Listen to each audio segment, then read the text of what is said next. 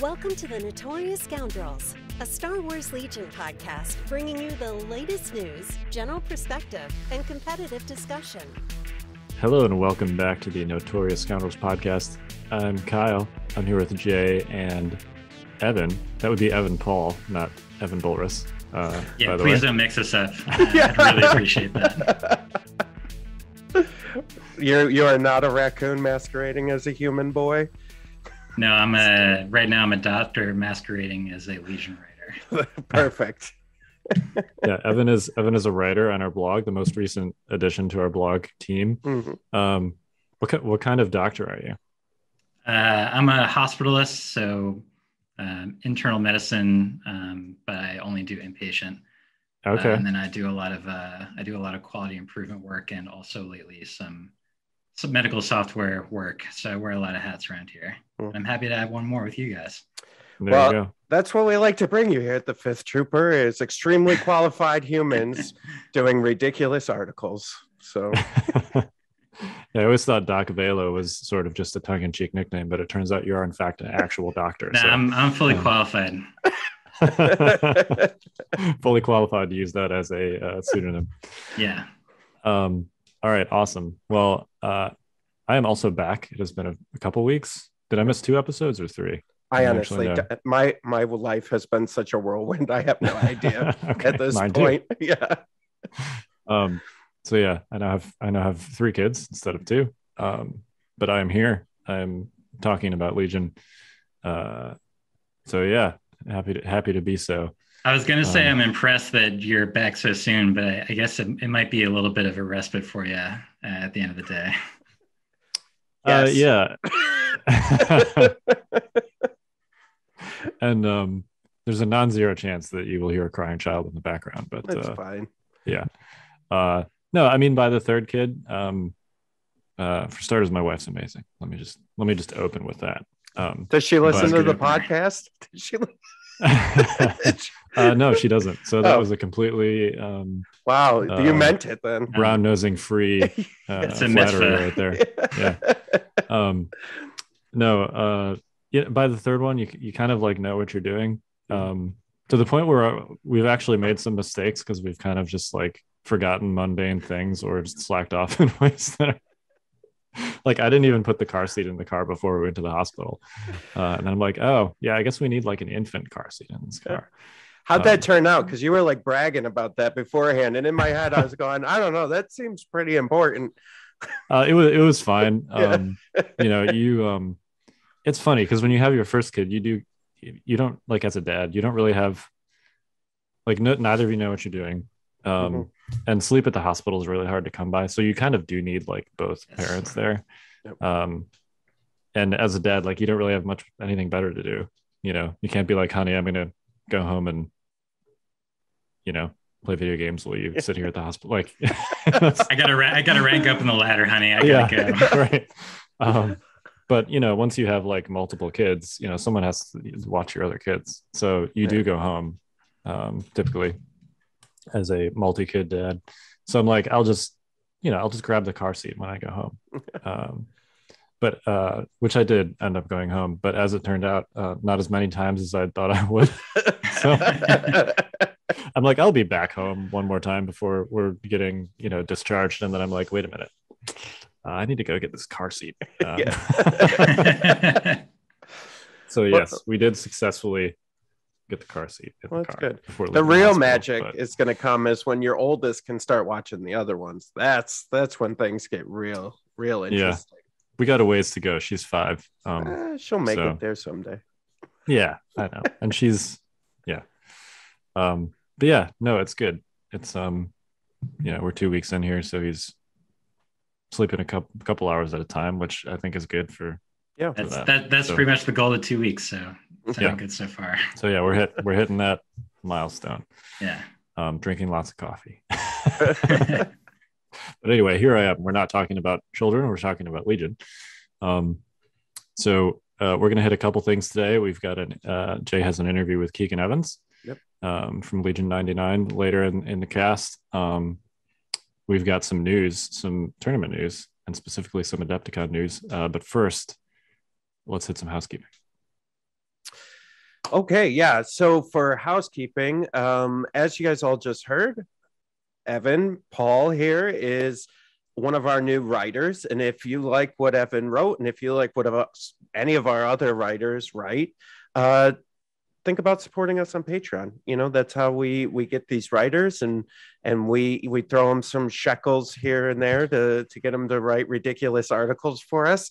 Um, and and that's how we do it is through the Patreon. And also, you know, you get a lot of other benefits from being a Patreon supporter. Like, uh, you know, we just got our mats in, and so I'm going to be sending out mats to all our supporters of, for one year um, at a certain level. So that's cool. They get a free map. Um, and there's other stuff we do another podcast uh, we do live q and a's. We do a lot of stuff on the patreon as well that's you know uh, in addition to what you get normally with the fifth trooper uh, network. So that's good Next thing is um, Stormtide. You know, we we are going strong. We just shipped out box five, and we're heading into box six. Um, one of the really exciting things, and I, I, don't mind talking about a little bit, real quick, Kyle. I won't I won't take up too much time, but is uh, for box seven in February. What we're doing is uh, I'm designing in a soft reset, which means that players who want to get in but you know I don't either don't have the money or the fortitude to uh, you know go back all six boxes um, you could jump in at box seven.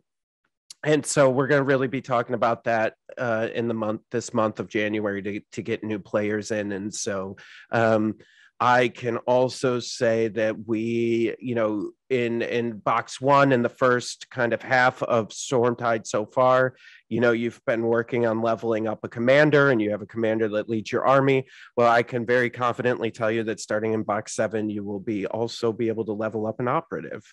And so we're going to have lo- operatives and commanders uh, for Stormtide. So that'll be pretty cool. And we'll talk more about today's not the day, but we'll talk more about that as we as we continue on this adventure.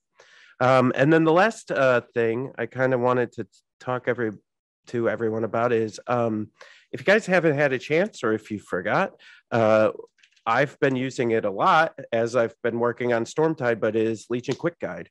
So, you know, we have the website legionquickguide.com, and basically it's this really cool tool for um, it's designed for mobile, but it can be used on on your your PC browser as well. And it's all the rules it basically alphabetized. So you just go, you know, if you need to learn about something under C, you just go to C. Let's say you want to know calculate the odds you go down to C, you click it, click calculate the odds, and there's all the rules right out of the rule, you know, rules reference guide. So um, if you hadn't have a chance to see that yet, legionquickguide.com uh, for all your quick guide needs. Kyle, back to you. awesome. Uh, well, we did get some reasonably significant news about Adepticon, mm-hmm. which is actually happening this year, supposedly. Mm. Um, Mm-hmm. I'm totally not going to jinx it by saying. mm-hmm. um, and uh, yeah, there are going to be Legion events. There, there are there are several listed on this sh- schedule. Let me just let me just go through and and read them real quick. Um, on the 24th of March, there is a Star Wars Legion skirmish tournament. Uh, there is also two events for which there's only eight spots, but they appear to be narrative events. Ghost of Onyx is what they're calling it. Um, and there's one for the Galactic Civil War and one for um, uh, the, uh, you know, well, it's funny how they're labeled because one is labeled Galactic Civil War and then the other one is labeled Rebels versus Empire, which is kind of the same thing technically because the Galactic Civil War is Rebels versus Empire. I assume they mean the Clone Wars and then Galactic Civil War. Mm-hmm. Um, yeah. but in any case, uh, there are two separate narrative events for the two different eras. It seems each only has eight spots, but those are narrative events. There's a skirmish tournament. Um, on the 25th, there is the Legion Adepticon Open, mm-hmm. which appears to be the main like competitive tournament at Adepticon for Legion. That's got 128 spots. Um, and they also have a player packet out for this now. It goes three days, um, Friday, Saturday, and then potentially Sunday. Uh, if you make top whatever, I don't know if they have details on exactly what how many are they they're going to cut, etc. Um, but it seems to be similar to uh, you know, basically what they're doing for LVO this year, which is like a three day Yep. Format where um, it's not a straight undefeated cut. I think after the first day, certain uh, X and ones, um, I think it's four rounds.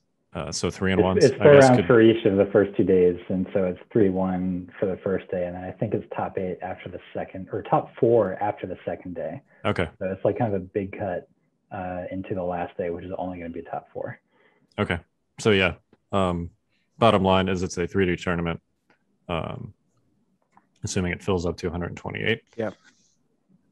So big tournament. Uh, they have said this is explicitly not the World Championships, That's correct. um, which is relevant because I think you talked about this last week. Um, but uh, they actually sent out a like a little form via Twitter that basically said if you have a World's invite, fill out this form. Um, and uh, yeah, um, I think I filled it out as correctly as possible. The event type that I want to invite from was not on there, Yeah. um, but uh, I'm sure they'll figure it out. Um, so yeah, if you have a World's invite, I'll mention that again. Go check that out and fill that out. Um, but this is not Worlds, so uh, this is just a straight up open tournament that anyone can sign up for. Yeah, and I think we're uh I not think I know we're going to talk more about Adepticon because we actually have a booth at Adepticon this year. So um I will for sure be there uh running the booth with Rachel and and whoever else is coming for us. Um and then we'll be back and forth between the the tournaments as well, I'm sure. So so Fifth Trooper will be there in force um and so you can you can come say hi at the booth come chat and you know maybe buy stuff if you want it's up to you And uh, tickets for that, I think, go on sale on the 11th. Uh, Yes. So Yep. we got a little less than a week from when you hear this. So I, I'm guessing it's going to be mega popular. Uh, so it might be an LVO situation where you got like two hours to get in there, um, Yep. and then you're you're out of it. yeah That seems somewhat likely. Um, and also just to, so you you also need like a, Adept- excuse me, Adepticon. I made it like ten minutes into the cast without Oh, messing something up. you're doing two weeks so off. good You're Um, doing great, kid. Uh, you need like an Adepticon general Mhm. admission pass also. Mhm. Um, I would strongly recommend. I say this knowing that I'm going to increase the pool of people that I'm in the lottery against, but uh, I would strongly recommend the VIG upgrade. Um, it's more expensive, but you get so much free stuff that it's like it kind of pays for itself. yeah it's like a ridiculous amount of free Yeah. stuff like i still have stuff i haven't even opened yet Yep. from the last one Yeah, it's crazy. Yeah. Um, I think last time uh, I managed to to get that, and I I eBayed maybe like half of what was in there, and for like three hundred dollars. Wow. um, and then I kept the rest of it. So it was like, I mean, there's like full board games in there. There was like a Song of Ice and Fire starter Yep. set Yep. in one year. Um, so yeah, uh, I would would would recommend strongly recommend the VIG thing. Um, it is, I think, a lottery. Um, it's not like a first come first served situation, but yeah. Anyway, check that out. January 11th is the signups, um, and I'm, we'll definitely be talking about it more Yeah. in the future. Um, Brendan, who's running the event, Brendan Franz, has said that the prize support will be quote fire, whatever that means. Um, so I'm sure we'll find out more about that too in the future. But who knows yep. Either way, I'm What- excited. Will this be like the first big general tabletop con that actually happens as a fully live event since the pandemic started? Uh, by tabletop con, you mean something that doesn't just have tournaments at it? Right, right. Um, I mean Pa- LVO. pax pax and L- pax was pretty big Yeah, and PAX. L- Okay. Yeah Yeah, the actual like Legion tournament at PAX was pretty small. Yeah. Um, Yeah. but uh, yeah, PAX is an actual like board Yeah, game slash true. minis game convention. Um, and LVO is mostly a tournament, but they do have like vendor booths and stuff there. So um, this is probably the biggest one Hmm. since the pandemic started. Yeah. You know, this the Adepticon and Gen Con are kind of like the two largest ones that are stateside. Um, so I mean, I think it's so big that they're in two hotels this year. They're in two different areas, so it's going to Yeah. be wild. it is and i'm going to be um, well, hopefully I will be able to go. I've got a, a soft, soft maybe, um, strong maybe. Uh, so we'll see how that works out. But if I if I'm was there, it while she was tired? She's sleep deprived. she got like she's been up two days straight. You're like, yeah, hey, so uh, I, I was thinking about going to Adepticon in March. Yeah, Yeah, I'm, I'm imagining her eyes like completing closing, Yeah. and then Kyle goes, "And by the way, you're cool if we go to DEFCON, right? Okay, good night, honey." And Sounds she- good. Yeah, she Yeah. falls asleep, and you're like, that's a strong Yeah. maybe. here I just printed out this thing. You could you just like maybe throw your signature Could you just sign it? quick? Yeah. Um. yeah. We'll see. The strong maybe. Uh, but I, if I'm there, I'll be getting Portillo's at least once, Mm. mandatory. So. Um. Anyway. Uh, speaking of tournaments, um, we're gonna hit our interview with Keegan, uh, Jay's interview with Keegan, right? Meow. All right, so I am here with Keegan Evans. Keegan, what's going on? Hey Jay, great to see you again. Uh, Yeah. It's uh, yeah, we've made it through the holidays. Happy New Year. Yeah, yeah. What's the last? I think last time you and I saw each other in person was LVO two years. Two- Yeah, yeah, the last LVO, I think. yeah, the Um, yeah. 2020, right? Yes, yeah, Oh, so uh, we're heading into yeah, we're heading into the 2022 LVO, which is coming up in a few weeks. And so, what I wanted to do was have you on and talk about a couple things. Uh, one being just kind of doing a recap of Invader League, you know how Mhm. that went, Yep. who who won, the winning list, all that, and then maybe I thought it would be nice since we are starting to kick up tournaments and we have a lot of new players in the you know in the community now they can kind of hear about tournaments from uh someone who judges perspective so yeah, absolutely, love that. All right well let's start with invader league um so now uh, it's my understanding you you co-hosted with david zelenka right for the finals on his yeah Yep. I uh, so I've been uh, I've been judging with Invader for a couple of seasons now, and uh, I took on the role, uh, especially coming into single eliminations of, of the stream lead. We're trying to figure out how to reinvigorate streaming, which I think has died off, uh, or not died off, but has reduced for a number of external factors. Yep. um, and so I, uh, but we we did coordinate a deliberate, you know, Yavin base hosted uh, stream of the finals. Uh, David's got a fantastic following, and and he Yep. he just knows what he's doing, and so that was a that was a nice clean um, plan. Uh, we had some great great streamers helping out in, in single limbs, uh, but then as as in my in my role, I abused my power and basically invited myself onto his cast that stream. Perfect. Uh, and uh, and and had a blast uh, with that. So yeah, we we had the Invader finals a, a few weeks back. Um, so the other side of the holidays. So I'm going to do my best to remember exactly what happened. yeah I, listen i don't know that we need a play-by-play but um course, of course. let's so so do you roughly know the the two lists that were in the finals Yeah, yeah. Okay. Just so in general, it was Snyder versus Florf, 2 Mhm. excellent players who've shown up in a number of uh, uh number of in-person and online competitions. In fact, I played Snyder uh, in so at the SoCal Open had a, had Oh, a okay. fantastic top four game. Uh, where due to a series of early mistakes on on my part, he absolutely ex- um, leaned in and crushed me in that game. And he's and uh, he's a, he's a fantastic opponent. Florf, I haven't had the pleasure of meeting in person, uh, but he is also a fantastic opponent. I have played him in past uh, one of the, one of the online leagues. Um, Florf brought a so I, I think you've talked about it before. Uh, Invader, uh, the single eliminations due to a, a slight quirk in timing and, and despite best efforts did play on the old RRG Yeah. uh, and the old points. It did have some of the new units, um, but we did see uh, Florf bring a pretty classic Rex star. Um, I feel like he had a set of Wookiees in there to Mhm. spice it up a little bit, but it was basically your your standard issue Rex star.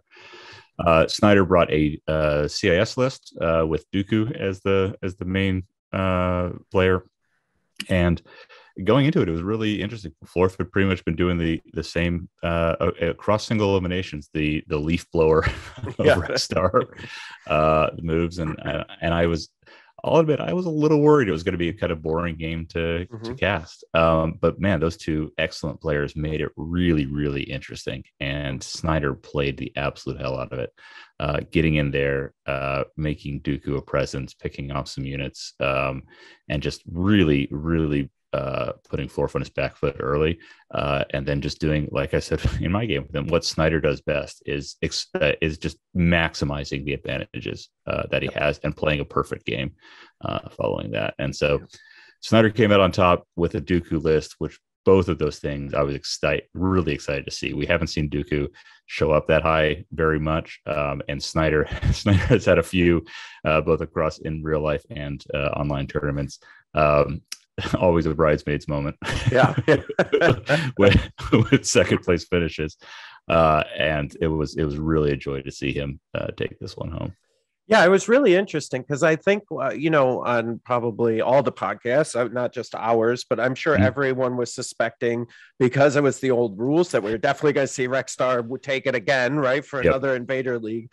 Um, yep. And I, we saw it go far and be very successful. But I, I think it's nice to see, and and I think this kind of leans in the the points changes too are mm-hmm. allowing for this for the but it leans into that that kind of it's the wild west right now of Legion. I think so. Absolutely. Yeah. yeah. I, have been asking a question on and lightning round on one of my casts that, you know, are we especially related to Republic? Are there are the changes? Um, did they destroy the Republic or did it just open the multiverse? And I think this applies across the board, like you said. It, yeah. It's the Wild West. We, we've got so many choices now. Yeah.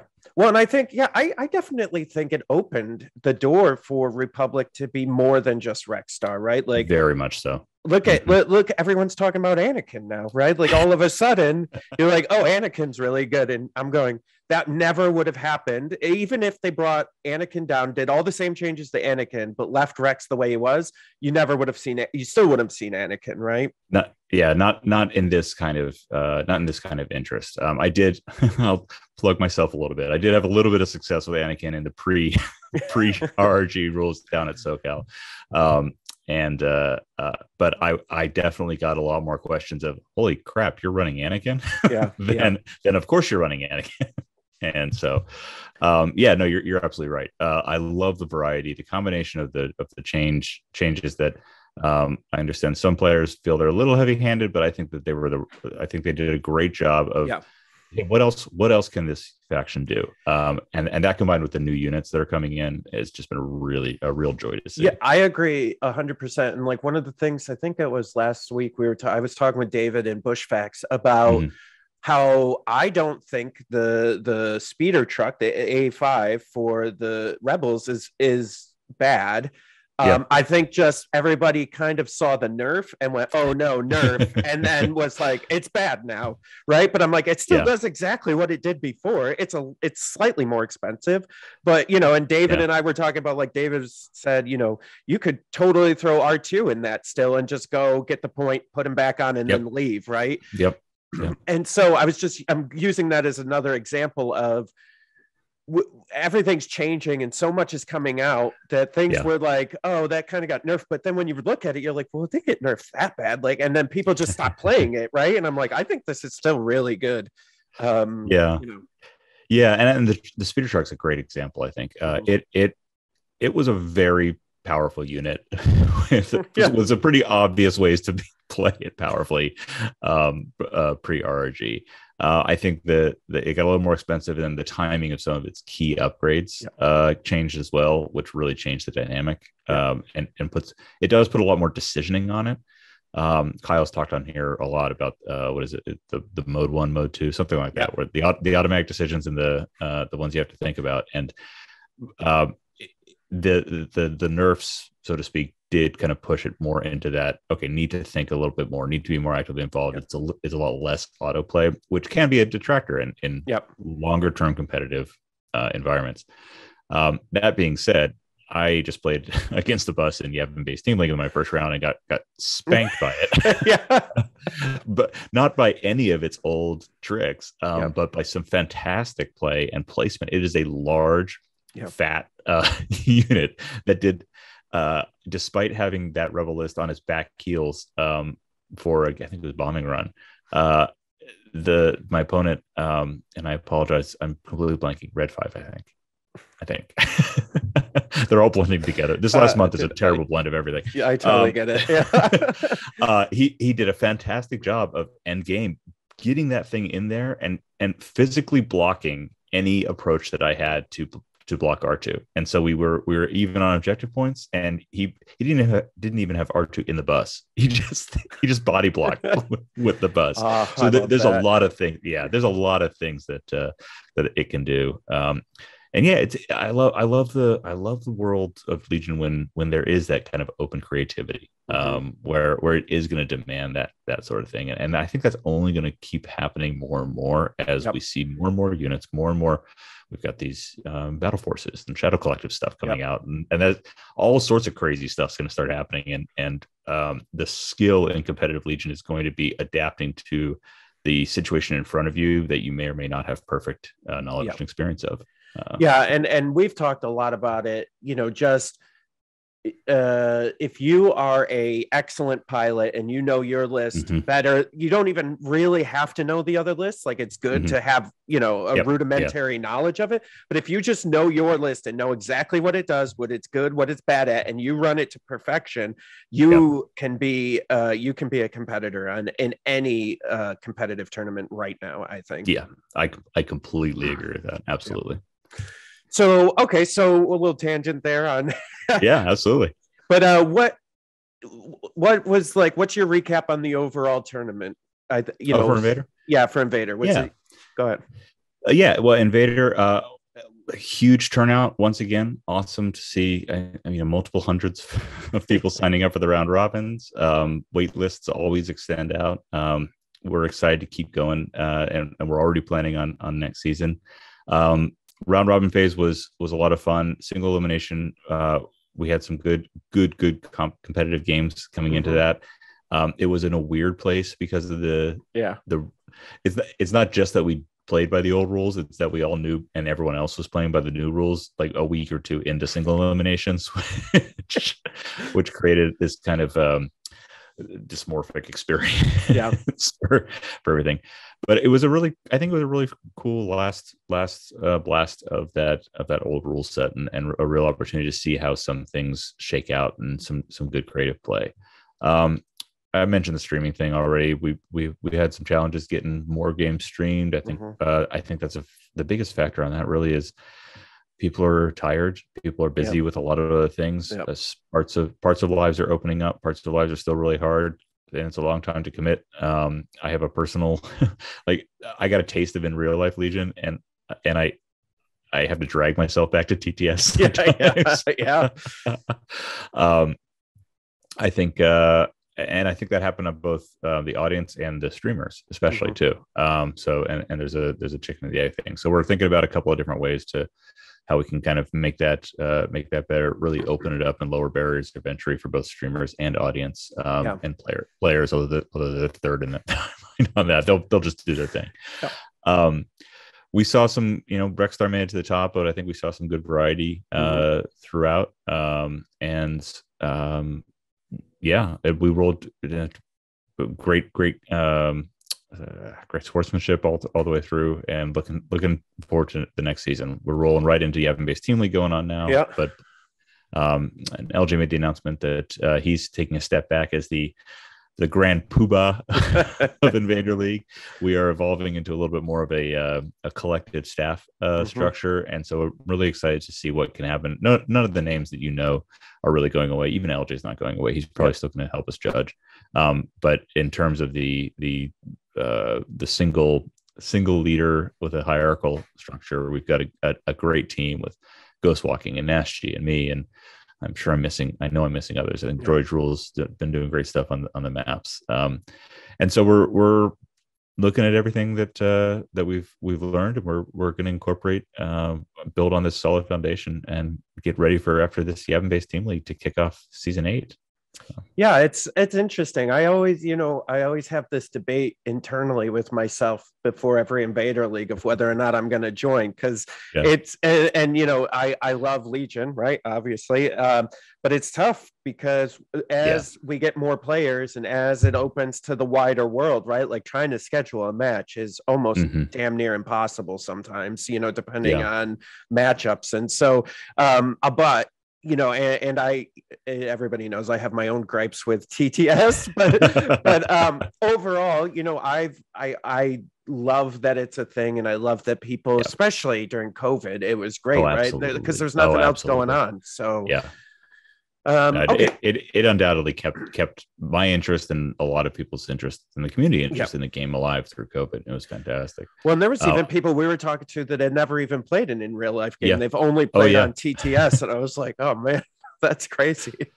Yeah, uh, Florf is actually one of those. I think his first in real life game after playing for over a year was at uh, either Dallas or Lone Star yeah, uh, Open. Uh, I will. I will comment. One of the things I, I, don't think it's set in stone in a solid decision, but we are looking at how that scheduling challenge that you mentioned. Yeah. Um, and uh, uh you and I had the pleasure of being in the same round robin pod. Uh, a couple seasons ago, and yep. even that even that cross country uh, three hour difference can be difficult to schedule. So we are looking at how we can mitigate uh, if there are ways to mitigate that in addition to like the international scheduling challenges that we have sometimes. Yeah, it's just interesting, right? Because like you said, even for you and I to do this East Coast west coast is really yeah. it's really hard because you're like well i'm available at 8 p.m my time i'm like dude yeah. i'm asleep what are you talking about yeah i and i knew you would be when yeah. i offered yeah. Conversation yeah uh, but yeah no it's uh, but you know it's interesting and um mm-hmm. yeah i look forward to seeing what you guys are are you know going to do for the next season and again i'm going to have that in inside turmoil and i'll probably i'll decide last minute uh, whether or not I'll join, but looking forward to it. Awesome. Um, I would. I, I, just plug for anyone who doesn't know and who, who, listens to this for Invader Round Robin is intended to be the the open and friendly friendly yep. to newcomers uh, tournament. I think the I think the first Invader League I played was probably one of the first tournaments I played um, at, at while playing Legion, and um, you know what? Maybe maybe you're not going to make it out of your pod. It, it can yep. be tough to tough to get out of the pod, but you're going to get five really great games um, with yep. with some great great opponents and some good opportunities to learn. And I I uh, encourage everyone to sign up for that. And then the single eliminations is intended to be more competitive. Yeah. Uh, so. And as someone who's never made it to single elims, I I have fully enjoyed the round robins. They've always been a pleasure to play in, and and you always meet super cool people, you know, which is great. So yeah, yeah, absolutely. So, besides what we talked about, uh, do was there any other takeaways from mm-hmm. Invader League that you think could potentially impact competitive Legion moving forward, or do you think that the mm. points changes and stuff have kind of erased any learnings that we've come we've come from? um, uh, they've I don't know, erased is the term I'd use, but they've definitely rebalanced. Well, yeah, that's, just reusing the term. They've definitely reset expectations in a lot of ways. We did use the uh, the four card flip hmm. um, mm. for uh, for turn zero, which was which was cool to see, and I think we have been seeing a little bit more of. We've been seeing passing used yeah. a lot more in in uh, turn zero. Um, which uh, which is kind of cool to see. It that that is definitely more of a mental game. Um, really having an understanding of um, relative value of the cards to your list and to your opponent's list. That this is the turn zero play is probably one of the areas that um, knowing your opponent's list um, is is really important. Uh, recognizing what they're good at and things yep. that you're both good at, who's better at naturally. Uh, I like to say, I've I've said for a while I, I I I don't think games are decided turn zero, but I think the difficulty setting is set yep. there. It's like a like if I'm turning a video game on, uh, I'm I'm choosing either you know play Halo in rookie mode or or what is that like insane mode? Yeah. Um, and uh, the the the trick is we're both two players in in Legion are setting two different difficulty settings. so I could be I could set myself on insane uh, and set my opponent up on easy, uh, which isn't a good situation, uh, or, or, or try to find a way where we're both playing on hard. So. All right. Yeah. Well, that was good. So that was Invader League. I'm excited to mm-hmm. see the next season. Um, so the next thing I wanted to talk to you. So, so for those of you who don't know, you know, Keegan does help judge with Invader mm-hmm. League, but he's also judged several uh, in real life tournaments as well. Yep. Um, Keegan and I had and and Nima had a great discussion at the last LVO about judge calls in our table, and uh, It's totally unrelated, but this is the first time we've talked in two years. yeah, I swear it had nothing to do with it. Um, but you know, I and and I'll use that as an example so we can jump in. Mhm. So so Yeah. just uh Nima and I were on the I guess the top table for that day on the stream table. Keegan was our judge. And before we even started, because I had a tank, um, you know, the Gav tank, we had several questions for you. Yep. So as a judge, um, you know, a lot of them were relation to where I could deploy because the Mhm. deployments were a little odd. Um, how if I could drive over certain terrain, what height terrain, you know, where we were Yeah. because it was kind of skewed and and neither uh and it wasn't that Nima and I were arguing at all. We just we didn't know and we couldn't Yeah. really like yeah. work you know work it out. So as a judge, when you get questions like that, like how do you how do you walk through that? Yeah, no, it's a it's a great question, uh, and I will say that this particular scenario and this particular judge call we're talking about is simultaneously one of the best examples of a judge call, and especially from a player's perspective of a reason to call a judge, and also an example of one of my least favorite judge calls I've ever had to make. so to set- to set the stage a little bit more for this one in particular, uh, like you said, you were you were running a Gav tank, which has been discussed uh, up and down the Legion versus having some challenges, uh, Yep. height challenges. Yep. um, and this uh, this particular table had uh, some uh, some loader. I believe it was um, Outrider Dan's uh, uh, Star Tours table. Yep. Uh, if, I- Yep. if I remember right. Um, he has some crates uh, and and some terrain on that that are beautiful and thematic and wonderful and exactly half the height uh, of a gav tank, give or take 0.1 inches. It was the give or take. Yeah. that was the real challenge. Um, so you, the the reason this was one was is just one of a great example of a judge call is you and Nima had an incredibly civil discussion. You have a ton of respect for each other. You have a wonderful fake rivalry, but you actually respect each other. yes, a lot yes. um, and you were at a true impasse. And when you when you achieved that when you re- both recognized you were at that impasse you didn't dig in get defensive um, worry that you had to solve it. Um, you Mhm. didn't come at it with a scarcity mindset. You're like hey we have a solution. Let's call a judge. Yep. um, let's take it out of our hands because we definitely both have personal preferences and biases and let's put it uh, in the hands of a judge and that's exactly what i hope that any player does uh, at any tournament I judge or into any tournament I, I play with. Um, Because get judge calls early and before emotions get heated are are the best way to keep the game moving, keep that friendly competitive spirit alive that I love about Legion community, Legion games, uh, and and just solve problems. So y'all did that, brought me in, and like I said, I, I think we broke out. We, we found a ruler somewhere. Yep. We, cut, We got real was- serious about it. I was. I was really low and really close in, and I, uh, I you know, it, it really came down to a coin toss uh, Yeah. for me. And and when it was a coin toss, it was uh, it was it was like okay, it's I think I think it's just above, just above half, and therefore the the tank can't go over it. Um, and I knew that that was really screwing you. Uh, I I was sad about that. yeah, and, and Uh, to fill in because the other thing, if I remember correctly, I think it was advanced position. No, it was something where I think it was I think it was Long March Or- on that table. um because you only had one other option to go. no Or maybe because, maybe because you just ended up playing like the lowest Long March. Yeah. yeah. or yeah i think it was advanced positions because the reason i remember that is because i only had range one to deploy and Yeah. anywhere for the tank Oh, got it. and so yeah. i was like i need to deploy here because i couldn't get out of any of the other corners yeah. and the, and the reason we were battling over this was because um, back then, so they changed the rules, but with oblong Mm-hmm. bases, they changed the rules because of me uh, and this particular match. Um, but because the oblong base, you had to deploy at an angle uh, right. in the deployment. Yeah, you had to the be completely in. Yeah. yeah. And so that was the whole thing where it's like, okay, well, these are only two places that this tank can even go yeah. on this table. So uh, I'm going to drive over that. And and then Nima was like, I don't think you can. And I'm like, dude, I'm telling you, it's half. And then, yeah. and then, right, like you said, you know, and that that's why it kind of pressured that. But yeah, I- and totally. that's you know that's what we encourage everyone is that um yeah sometimes emotions can be high because Mhm. Anything competitive, any sports, any type of competitive situation, you want to win. Mm-hmm. Yeah. I, I always want to win. Nima wanted Yeah. to win. We all wanted Yeah. to win, right?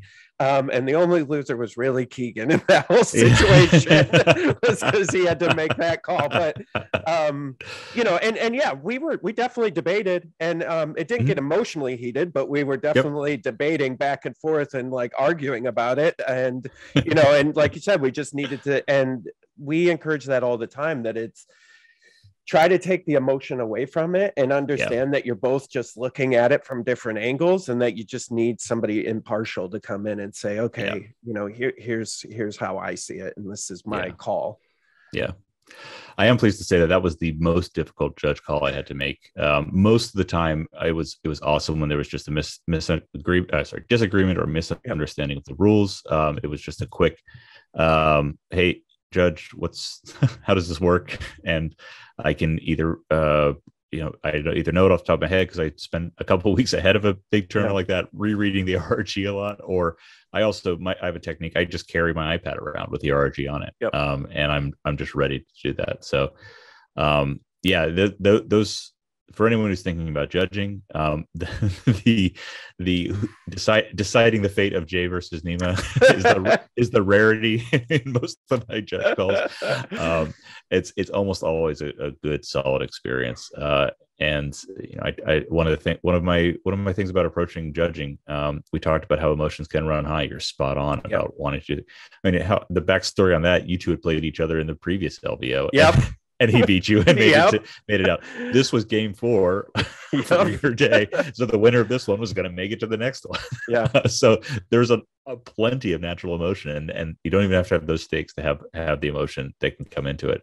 Yeah, I and always- I think you know, and leading into it too, it was funny because um, we weren't supposed to be on that table. If I remember correctly, that was the Oh. stream. that was the stream table. It was. It and was, yeah. someone else had requested that they didn't want to be streamed, and of course, Oh, yeah, of course, we would Yeah. honor that, right? Yeah. and so yeah. they asked us to move up there, and I was like. I don't want to be on that table, and Nima agreed, and he was like, "I don't want to be on that table either." But then we we took the hit for the stream, you know, and oh man, yeah. So it was Yeah. it was I as cool as a cucumber as I seemed inside, I was burning a lot, like Oh, I know. I know you were so upset. Like I was just going, yeah. and and you know because sometimes I think outside of player control, right? And this is a great Mhm. judge thing. It's like sometimes there's things outside of player control that you there's nothing you can do. It just is what it is, and you disagree, and you have to bring somebody else in. And this was a perfect example because it was. It's not something Nima did. It wasn't a line of sight issue. It wasn't like Yep. a rules question. It was, Yeah. uh, what is this piece specifically to me? Yep. You know. Yeah. Yeah. And you guys were doing everything right in terms of discussing terrain ahead of time. That would have been even even worse uh, uh, of, a, of an experience if it had been mid game Yeah. um, and, and debating it and, and similar stakes. Um, but yeah, so when I'm judging, one of the things that uh, I'm cognizant of this potential emotion stuff. So whenever I hear a judge call, and whenever, so as soon as I come up to the table, uh, one of the, I always just approach with the, "Hey guys, what's going on?" Mm. In this, in kind of a make preemptive diffusing of situation, bringing in a, a, a, a- a lighter weight to the conversation, and, Yep. and hoping to hoping to kind of reset anything that's happened ahead of time. Um, especially if, the, if conversations if if it took a little longer than maybe it could have to call a judge. Um, Yeah, and then, I guess that's the other thing, right? Like at bigger tournaments, like at an LVO or an Mm-hmm. Adepticon, there's generally multiple judges, but when you have 30 plus tables, Yeah. sometimes there's three, four judge calls at the same time, right? oh And yeah, So oh yeah, that's the other upsetting thing. And and what I found, um, and you guys are very good at this, is um, and for those of you who have never played in tournament, you're worried about something like this, is a lot of Mm-hmm. times the judges, if they recognize that it took a long time to get there because of other Mhm. things that were going on, or that the decision took a long time, that they Mhm. will add time onto your game so you're not like Yep. Yep. stuck, you know, going, oh man, we just took 30 minutes to figure that out. You know, now I'm now Yeah. I'm done. yeah. Yeah. yeah we, we have latitude in, in being able to uh, and we talk to each other and we coordinate so that we if there's an individual table that had a particularly sticky challenge um, we can we can add time. We you know we it, that's also one of the big reasons um, we ask that make make your judge calls early so we we don't need to spend that uh, amount of time. If if you're finding yourself honestly, if you got if you all aren't deciding something in two to three rounds of conversation, uh, and it's not it's something you don't want to just roll a roll a red defense die for, um, just call a judge. Uh, yep. We we want to be there. We're we're there to help. Um, there's we do not show up with any judgment. we uh, we're we're not there to police you uh, and and punish you. We do have you know we, we have warnings and things like that, but that's for that's just to help kind of keep the tone of play where yeah. it needs to be. Uh, no one's get no one's getting a warning just for calling a judge. So let me let me ask you this. This is this here. Yeah. This is this is going to be a sticky question All right. for you. All so right, I'm really excited about this. so let's let's use the example of mine and Nima's game. And that particular thing was not a it's not a very distinct black or white rules question. Yep. Yeah. Do you find that do you listen to the players and hear their arguments for and against the mm-hmm. ruling and then take that into consideration for for said ruling? Uh, tr- uh, so there's a timing piece on this question. So if I'm making a judge ruling, um, and and most of our, especially our real life tournament rules documents are explicit. Judge calls are final. Um, you can appeal, but uh, I've never seen a head judge overturn right. uh, a marginal judge call. It's it's only if the judge like hundred percent got a rule wrong mm-hmm. that that's going to happen. So if, if it's something that there's a matter of debate, uh, then you can pretty much expect that your table judge call is going to be final. Um, now, what you what you just described, though, I, I before I make a ruling, I hear both sides, um, and there's there's a few different reasons for this. One, I just need more information. Um, I want to understand how we got to the situation. I want to understand the components. Um, I want, and most importantly, I want each of the players to feel like they have had an opportunity to voice their experiences yep. um, and that their perspectives are considered. Um, so it's really important that I hear both sides. And so a judge call is probably going to take a couple of minutes at least, unless it's a quick, hey, how can I jump? Can I use jump twice in a turn? things, things that are easy like that.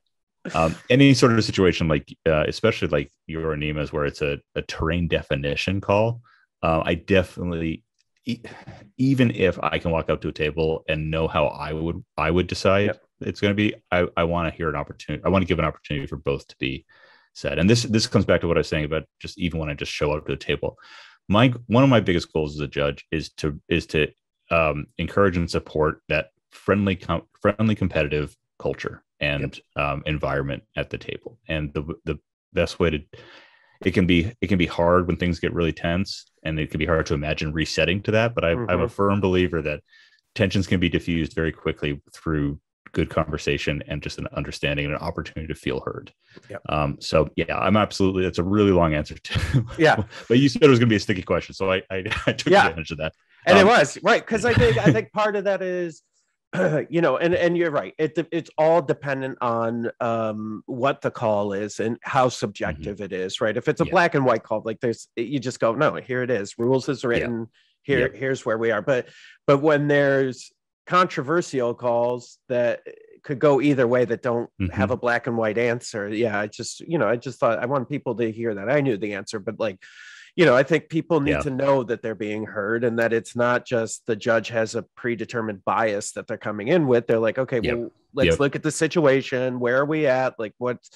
Why is this being called? You know, you know, and and trying to make something make sense, especially if it can be subjective to the game versus you know just a oh no this is oh this barricade is always this height is always this height and, and no one can tell me otherwise. It's like well you know he can't really deploy anywhere else yeah. know, right? Yeah. In, in, this case i could there was one other place i just didn't want to deploy was the answer but you know yeah. um, I, I think overall you made the right call even though i, I wasn't happy about it in the moment i, but I, I respected it and took it and, and that and that's that's all we ask for uh, as a staff and judging team uh, fr- from the players. Um, my here my my quick pitch.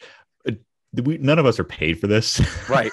so, um, getting hostile and angry with a judge uh, is getting hostile and angry with a volunteer who's who's only there because they love the game and they love like creating these events and experiences. Um, and I've I've I will admit that I don't know. Maybe this is pandemic related, uh, uh, losing patience, but I have been a little quicker to remind players that arguing with the judge itself is warning worthy in some of the events that I've had the experience of over the last couple of years. Um, and and usually that's enough to remind folks that Yeah. okay, that there's a dynamic here. Right. And and I would say at the end of the day, we as a community and as a game, we're not at a level where there's anything real on the line. Like, you know, Yeah. maybe at your local store there's like $50 in credit or something, Yeah. but like that's the Yeah. biggest. You go to Adepticon or any of these other LVO, it's just you get first place. You get a bunch Yeah. of swag and a bunch of cool stuff that, you know, Yep. S- Six Up Supply or somebody made. like For, that? for, for, force flask, I do appreciate Yeah, that. Force, yeah. force flask, I think force flasks are changing the tone of the competition. I think so. That's all I've been hearing about is these force flasks. Um, so you know, in and at the end of the day, it's not like it's 10 grand on the line, like in like a 40k tournament or a magic tournament, you know, yeah, like there I'm a little bit more forgiving as far as people being aggressive because you're like, yeah. I don't know, 10 grand can be life changing to some Yeah, people. so I get it. But this one, Absolutely. it's just you can you just walk away and go, I got first place at LVO. That that's what you get. So like, you know, giving everyone a break, the- Yeah. your opponents, you know, the judges, the staff, like just eh, it's just a game right now. We're just having fun. you know, yes, I'm competitive. I'm just as competitive as everybody else. But Yep. you know, at the end of the day, I realized that really yeah. Nima, oh yeah. Won, and I, our rivalry continues. And other than that, it- I really didn't lose anything. You know, you Yeah, know, so yeah yeah and it's great it's great that you called that out uh and you know and, and also uh, you know, having grace for each other and ourselves that sometimes it can feel really important i, I just played a Yavin Base team league game and i made a i made a mistake and i really wished uh my opponent um it was it was a you know game goes one way or the other mistake it was it was a really dumb mistake on my part and um i knew it and he jumped. It was, you know, it was a standby play. I, I was an idiot. I, I said, okay, I take an aim and then shoot. And he was like, well, I'm going to spend the standby and shoot the only thing that can win you the game. and, and I was like, ah, God, you know, I didn't mean to say aim. It wasn't an intention. I'd love to take it back. I also know that it's your choice.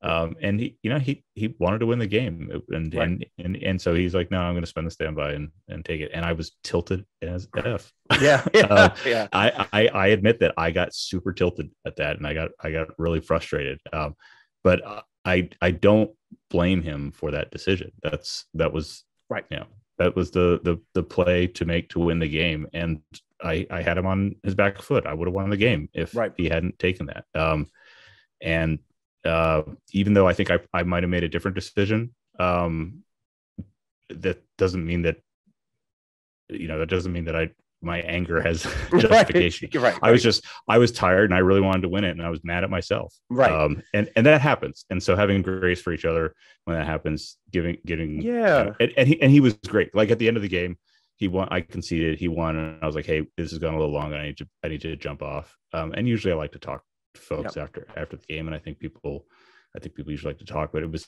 like it was really I think it was really clear that I was just I didn't have it in me. Yeah. And he was really gracious about that. He's like, "Hey, no problem, man. Uh, Yeah. Good game." And and I appreciate I appreciate that. yeah I, I think that's a great example right like when we're at these and and and i have to do that to myself too is recognize when i'm mad at myself yes. versus mad at my opponent for doing Yeah. something you know dirty where if it's a mistake i made and i'm just angry because i'm an idiot well Yeah. i can't really take that out on my opponent right like Yeah. they, they didn't do anything i was just Yep. the dumb one in this situation and yeah i Yep. think that's that's you know something that we can all take um home with us and like think about and when you're when you're getting heated in a tournament go okay am i mad at myself because i Yep. made a mistake or i'm losing based on my own merits or Yep. am i truly upset with this person for something that they did and then Yeah. that'll help you make other calls going down the line of the game like judge calls right? Like Yeah, if you feel yeah. like your opponent's doing something insane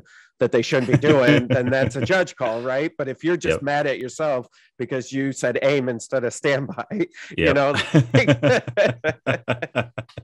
Yeah yeah and i'll be you know i was mad at myself because it was i have i have a, a history of snatching uh snatching defeat from the jaws of victory. I'm just making make doing like getting on a roll and then being tired or being casual and making a dumb mistake that just Yeah. completely flips it and i was super mad at myself because um i knew that the, i i hit i was like god damn it, I just did it again. yeah. um, I can't believe I did it again. And after after feeling like really good about this, and and Yeah. and that's and that you're, you're spot on. That's where the anger was. It was at myself. And I It's- think it's so easy to direct that at someone else. it really is. Yeah, especially in a competitive manner, right? Like, yeah, and yeah, if it for anybody who's played sports, like that's Mm-hmm. usually good to be able to direct it towards your opponent, right? Because you're like, all right, I'm gonna get them, you know. But Yeah. um, when you're playing a tabletop game, not Yeah. always, not always no- great. no- Yeah. physical dominance actually is a detractor. in a tabletop right, game. right. um, but also, you know, I think with TTS is um, is less forgiving than in real life, anyways. so, Like overall, like the the like the game, the mode, because you're not face to face. Like everything is just less forgiving than Yeah. than in in real life, and yeah, there's something about it that just kind of like I, I do this too where like in your brain i think because you and i've played in Mm-hmm. tts before where you're i'm like whoa i didn't mean to do that like yep, but then i'm like oh well i already did it right? Like Yep. and because it's i don't know you're not just connecting the same way you are as to like when you when you got your hands on like tactile things. Um Yeah, yeah. TTS also brings a, a capability of precision that is not reflected in Yeah. uh, in in real life that um that that can definitely spiral. yes that is that is for sure yes um all right so i have one more judge question for you Yeah. and just to get your kind of thoughts on this so i suspect because the way the world is right now and and delays and shipments and delays and stuff you know are we we have delays everyone's experiencing delays and trouble Yeah, getting absolutely. things so i suspect in the future we're going to see delays in uh units or we're going to see Mhm. canada and europe and uh, you know australia getting units and maybe the us isn't or vice versa right Yeah, so yeah. where what's your thought uh, because most of the tournaments in the US have been allowing proxies for all the units Mhm. that have been released in the world. So, what's your thoughts on that, and and how can I, as a player, best bring a proxy to to to be, you know, the most um, uh, I don't know. I guess uh, the words failing me now, but like you know, to be the most Yeah. fair to my opponents when I'm playing. Yeah. Oh, that's a great second half of that question. Um, so first off, I love I love the decisions that were made. I think LVO started it, uh, and then other tournaments have been adopting it Mhm. for so specifically Yoda and the Wookiees. Yep. Um, we've got a release date. Seems like it's on track uh, for a couple weeks from now, but uh, it's almost guaranteed that that that that's a container at the bottom of the ocean. Yes. Yeah. from the original one. Um, the uh, the for anyone not familiar, the proxy rule is uh, that Yoda and the uh, Wookiees are going to be legal at LVO uh, despite release date timings. Um, they are, um, I think, actual models are also going to be exempt. From, uh, I'm not going to say that. LJ says there's something about painting. I can't remember where they landed. Yep. Uh, LJ, I think LJ talks about it, or Neiman talks about it. Uh, the ruling that they made was that those uh, the the models and the cards in those boxes are eligible to be proxied um, at LVO. Um, uh, just because uh, Mhm. we want we want them in there. We want them to play. We don't want we don't want an advantage to happen for people who either are traveling from um, international uh, sites that have them, or for people who have you know we don't want to be pay to play where Right. eBaying. Um, and I admit I eBayed Yoda. I was anxious. Not I haven't even played it. I'm not going to. I'm not. I'm not going to play it before the, Yeah. the the street date. But I I wanted to get the thing painted. Um, uh, we didn't want that advantage to be there. So, um, PAX uh, adopted that, uh, and we Mhm. saw a Yodeless win. Um, uh, others are adopting that. I'm actually, I take it back. I am going to play Yoda before. I'm playing a skirmish tournament locally uh, Oh, next nice. week. Yeah. That's that's that's allowing proxies for for that box. Um, and uh, uh, so that's that's the that's the direction. I think that's a great great direction. I think it's it's a good it's easy for LVO because it's not an official Yep. FLG or uh, AMG Yep. event. Um, PAX actually had official AMG price support, uh, which um, which was which was awesome. Um, but a- and that I think you know there wasn't a conversation; it was understood that this Yeah. was a reasonable approach. Um, you know, we'll see what AMG's policies are as we get. Uh, we're hearing rumors of of more deliberate, organized play coming forward. So hopefully, we have some allowances at that level. But at the individual TO level, right now, I think it's a great, great approach to to level that playing field of uh, of availability. Uh, your second question, I really love about how can I, I as a player, like make that uh, the, the, the best approach. Uh, there's so many different ways to approach that. First, look at your tournament organizer's rules and, and tournament documents to see how they explicitly say it. Um, mm-hmm. There'll be some that it, it could vary where they say you have to have the physical, you, know, you have to have a printout of the cards, or you have to have something you know there, or you or you don't. Um, so know what the rules actually are. Know if they have a uh, if they have a specific other mini to be replaced, or if they have specific minis that shouldn't be used in their place. Um, and then within those rules, um, the the the best guidance I can give is remember that you want it to you want to minimize confusion on the table.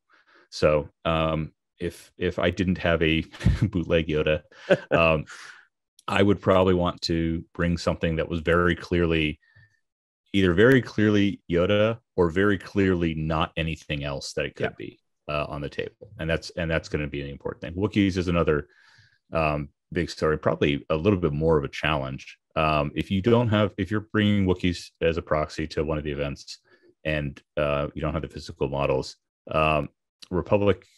Uh, so you'll want to do a couple things. One, you'll want to be clear that they're not, you know, don't use ARC troopers for Wookiees. yeah. um, uh, best case scenario, actually, I, I'd argue is use Rebel Wookiees if you can get your mm-hmm. hands on them. The other thing is uh, the Wookiees have different heavies, uh, and the Wookiee chieftain is a different unit. So be sure that you have a way that is not confusing there. So if you're if you're bringing rebels and Wookiees and you're going to blend the two types of Wookiees now, be sure that it's uh, you have a way that is super clear and and and like a dot on the base is great. A dot on the base is not obvious. Yep. Um, is super clear what uh, what that mini represents in terms of uh, in terms of heavies or unit leaders, etc. So. Yeah, especially if you're like like if you have mix, right? Like where you have one yeah. Wookiee who's maybe the longbow and the other Wookiee yep. is yeah, um, yeah. because that you know because uh, if you're bringing all units with the same heavies it doesn't like we, we you know you just yeah. like these all have you know longbows and you're like exactly okay, yeah, got it yeah. and it's this many that's the longbower um but yeah, so okay that's cool so i'll give you one more one more question this is okay this is not a judge question this is okay. you what what do you think in 2022 what is going to be the list to look out for in 2022 Oh man. Well, I mean, that's I'm going to dodge that question just with with with a callback. It's the Wild West right yeah. now. Um, we've got we've got so many different things out there. I will say that there, you know, three weeks ago, I think there was a lot of heat around, uh, you know, multiple dwarf spider droids on the CIS, and three weeks later, I'm not sure that that's. I think there's still something that needs to be considered, but I'm not yep. seeing a ton of uh, ton of worry about that. I think the uh, the winning list at PAX, the Yoda Padme Saber Tank, is has some heavy dominance, but I also wouldn't be surprised to see maybe a little rules tweak at yeah. some point um, because there is a level of uninteractivity. I think Kyle's talked about this. Yeah, yeah. that list yeah. Um, that that maybe maybe is beyond the spirit of the game. Um, that, that it's the kind of thing that usually gets addressed at some yep. point. Um, I think Yoda's incredibly powerful, and I think Yoda's um, barrier to access. Uh, Yoda and Palp are comparable in a lot of ways, but I think Yoda is easier to access his power. It's yeah. it's a little bit easier to understand him. So I think he's going to be a big player in things. I think Wookiees are absolutely dominant in the number of hit points they have and the and yeah. the flexibility they have and some of the rules. Um. Uh. Yeah, you thoroughly I'm, dodged I'm, that question. That's fine. Uh, yeah. Oh yeah. Well, I'm also. I, I'm, I'm the worst to ask for hot takes. I hate hot, I hate giving hot takes. Hot takes. Like, hot I, takes. Yeah, I mean, that's yeah, all right. Han, all right. So, so, someone's going to do well with Han. That's going to. Yeah. uh, uh, Bushman likes now. that. Yeah. Yeah, yeah. I mean, hell, um, before the rules, I played a game with, with Nima. He put Han and Sabine in a double land speeder and kicked my ass. But oh, that's you know, so Nima, Nima. Nima always kicks my ass. Oh, he and he always has like he. I love how Nima plays because he always takes mm-hmm. whatever's the like the meta or whatever's good at the moment, and then he puts some twist on it, and yeah. you're like, oh, yeah, whoa, you know. And that was that's uh, that's what I've always appreciated about playing him is that yeah. I'm like, this is going to be an insane game that I've never like. every round is going to be challenging just because he's going to do something wacky Yep. that I'm not expecting, you know? Yeah. And so, but so, all right, Keegan, why don't you let everybody know where they can find you at and if they want to buy super cool stuff from you? Yeah, absolutely. So uh, you you mentioned it earlier. I appreciate that. Uh, I'm I'm co-founder of uh, Six Up Supply. My uh, neighbor uh, and I had a uh, pandemic project where he he really likes 3D printers and 3D modeling, and I uh, really like the output of those, and I don't like any of the maintenance. And we've uh, we've grown to a number of different products. Um, a lot of great gaming accessories, and our premier, our flagship product right now is the Force Flasks, which is a, uh, laser sword inspired, uh, cosplay ready uh, objects that also have an embedded, uh, roughly five ounce flask uh, inside of it. Um, and and and we we always like electronics, so there's also integrated LEDs to make them light up. So you can check all check all that out at sixupsupply.com. Uh, you can also see um, uh, we we have a nice heavy prize package coming to LVO as well. Uh, so if you're coming out there, you've got a chance to win one of those uh, and some other bespoke fun stuff there. So Is uh six spelled out or is it the number? ah, great questions. Uh, the number six up spelled out uh, supply.com. Okay. Cool. Uh, and, th- and then you can also find me. Uh, I've been I've had the pleasure of uh, being a co-host on Le- Legion 99 podcast, and then I also host a mini cast on that same feed, uh, uh, the Turn Zero lists. So if you uh, and on Turn Zero lists, I spend about 20 minutes interviewing uh, either ourselves or my favorite uh, guests uh, and players from completely around the community. It's been an absolute pleasure to have have oh, guests on. It, it's been a rarity that I've interviewed Mike or Nick uh, Yeah. lately. So that is getting guests on. So if any of your listeners want to come on and talk to me about uh, talk to me about their list that they love running, um, I'll I'll do a breakdown of that with them. We'll have a fun lightning round, um, and you can find both of those casts on the same Legion 99 feed wherever you find podcasts. Awesome. I highly recommend uh, checking all of that out. You guys do the six up stuff is great. Um, and so really enjoy everything you guys have been doing. So Thanks for having me on. Can't wait good, good uh, to see you again. Yeah, I can't yeah, wait till to in see you. person. So Yeah, yeah, absolutely.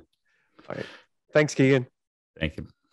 So that was Jay and Keegan talking about uh, some tournament stuff, basically judging, you know, when to do judge calls, uh, the Invader League final, etc. So Yeah, I, I, you know, Keegan mentioned so that he does the Legion 99 podcast, and then he has the Turn Zero list, which is uh, like a sub podcast of that where he talks to people about their lists and they break them all down, which is pretty cool. So I highly recommend checking that. And then also he has that Six Up Supplies website where they they do those force flasks, which I believe you have one, Kyle, right? It's in yeah, it's right. If you're It's watching on right there. Kyle's pointing to it on his screen, which it's a lightsaber with a working LED that's also what a five ounce flask or something yeah, like that. me, yeah. Oh, Kyle's gonna get up and get it. But yeah, so they do they do a bunch of really cool uh 3D printed stuff and um you know Keegan's a really really cool guy and yeah so Kyle's showing it now it's it's a lightsaber and Of course, I'm not going to be able to get the LED to work. There we go. there you go the LED works on it and also it's got booze in it Whoa. I, I have yet to actually drink out of it, but this one, oh well I think this is the Obi Wan one that opens from the bottom. Um, yeah. oh yes so that's there cool you go. Yeah, this one's from SoCal. yeah Um, so but yeah keegan's a great guy and and you know we had talked about his judge call on the on my game with nima at the last the the last lvo right in 2020 and um and how difficult that was for him and for me and for Nima and for everybody involved, but you know how we got through it by being reasonable and calling the judge over early. And you know, I think just for everybody listening, and if this is going to be your first tournament, whether it's LVO or Adepticon, you know, you should never be uh, scared to call a, a judge. That's they're there to be a third party impartial, so that you can move on with the game. You know. Yep. Yep. And it's all fun, right? Which is leading us into our next topic. Fun, fun, It is. fun. Yeah, so Yeah. we're going to talk. Uh, this is actually Evan's Evan's topic. Evan Yeah. just wrote an article, basically on uh, what is it? Canon Canon tier rankings. Yeah, it's the, the canon accuracy of the Rebels uh, was the first one. Uh, I mainly picked that because that's where that's where the initial idea came from. Uh, was us having a my friend group having a talk about how how Lando really epitomized uh, you know the the character in the show with having a bunch of different capes and uh, you know he had his little sneaking thing in the beginning of Return of the Jedi uh, he, you know, all of his command cards cheat, and then comparing that to uh, Leia, where the uh, character in the in the movies uh, basically takes care of business times a million, uh, and that the character in the card game is uh, kind of a disappointment in comparison. So it all kind of sprang out from there, and I tried to have some fun with it. Yeah, I like it. This this is good. Yeah. So uh, Team rankings are a controversial topic. Um, Yep. um, But uh, you know, so Not we're this one gonna though. This is this is based on science. Uh, so yeah, pure if you want to argue with it, uh, just know that you know if you're arguing with uh, with my opinion, you're arguing with, with science. And uh, I I am a I am a professor. Uh, I'm a doctor. So take that. You're you're entitled to your wrong opinion. Yeah. Yeah. Yeah. Yeah, this will be the definitive uh, canon accuracy yeah. tier list. Yeah, we're gonna we're gonna package it up and send it to Lucasfilm to let them know like how well uh, FFG was actually doing, so that Yep. they can you know keep an eye on AMG from now on. Yep. So we're actually going to do Empire because we did. Um, you did Rebels for your article, so we're going to Yeah. hit Empire for a little bit of change of pace. So we're not just basically repeating the article. hmm Um, You know how I feel about Empire. So I Yeah, that's why that's why I did it, Jay. I, I wanted to I wanted to see how our opinions on this stuff compared. all right. All right. Empire, Empire is my second love amongst Legion factions. So- After clones. no, after so I'm, I'm going like in order. So it was Rebels, uh, and then I defected to Empire, um, and then Droids, and now I'm on clones. So yeah, Oh, you, Um, you finally got there. yeah. yeah, yeah. I haven't actually painted anything yet. Um, so we'll see. It's in various states of assembly. Uh, we'll see if I have it together enough for whenever the next tournament is that I attend. Um, but Unprofessional, Evan. Sorry about that. I'm gonna get a pay cut for next month's article. yeah, that's Yeah. right. demotion. Yeah. Um, all right. Well, we're gonna just let's just hit these on uh, in order All right. from we we on using Legion the, the which is Legion. HQ system. Yeah, All right. yeah. So Agent Kallus. Uh, how do we want to do this? We do we want you guys to start out and then I'll I'll correct you at the end. I, I feel like that's the way that makes the most sense. Sure, that sounds good. Yeah. So all right. So let me let me understand the rules. So we are ranking them on the the tier list like we did the other one. So Yep. okay. And it's based only on the fact of how uh closely related they are to their canon counterpart. That, that's correct. And then, you know, the, I have a couple more rules is that first of all, like you got to think of them in the context of the faction. So we're going to talk about Boba Fett later, uh, and much to his detriment, uh, we're only going to be able to talk about his time serving the Empire, so which means that literally all the cool stuff that he's ever done on camera uh, was when he was kind of operating as a scum slash rebelish agent. Yep. So Mandalorian's out the door for him. Uh, Yep. and uh, and then the other rule is that uh, usually we'll do letters, but if you want to if you want to have like an emoji, if you want to say not applicable, you're welcome to do that because I've set that precedent already in the Rebel article. Yeah, I think Jyn was your was your. Uh, Yeah, Jyn, emoji, Jyn was right? like the straight faced emoji. I gave a not applicable to the bus because it's Yep. basically out of a West End game source book. Uh, I actually changed uh, Chewbacca's grade from an F to an S. So if you want to do that in the middle of your thoughts, feel free to do that as well. based based on the Christmas special. yeah, yeah. Yeah. All right. So we're starting with Kallus. With your criteria that you have set, I Mhm. originally was going to give him an F because spoiler alert for everyone out there, he does defect and go to go to the other side. Um, but since we're talking about in faction, Mhm. um, I would I would say a B. I'm going to give him a B. I I think um, you know he he's got the the cunning and and the cards to kind of match some of his abilities from the show, and then I you know I think. Um, his bow staff probably his bow rifle staff could probably be a little bit more stronger if we wanted to match what he Hmm. was capable of in the show but i would say overall a, a b uh, for that All right. Uh, I'm gonna say an A. Um, actually, I really like a lot of things that they did with Kallus in, in the way that he mirrors Lando, uh, who is also sort of a very on theme character.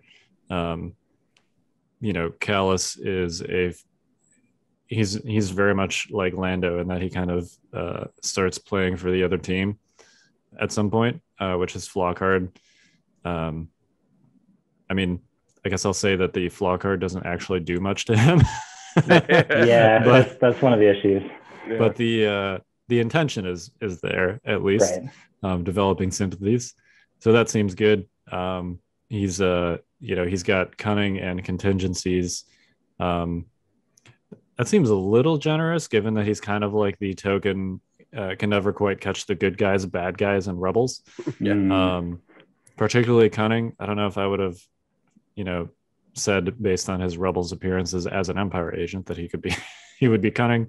Uh, uh, but other than that, yeah, I, I like the overall thematic choices with Mr. well, I I think you were I think you you both hit on most of the points that I was going to make. Is that uh, you know his major problem is that I think probably some of the most competent things he did he ended up doing as a rebel, which ends up kind of detracting from his uh, his unit card a little bit. Uh, I, I agree that the the flaw card, you know, in the show he he completely switches sides.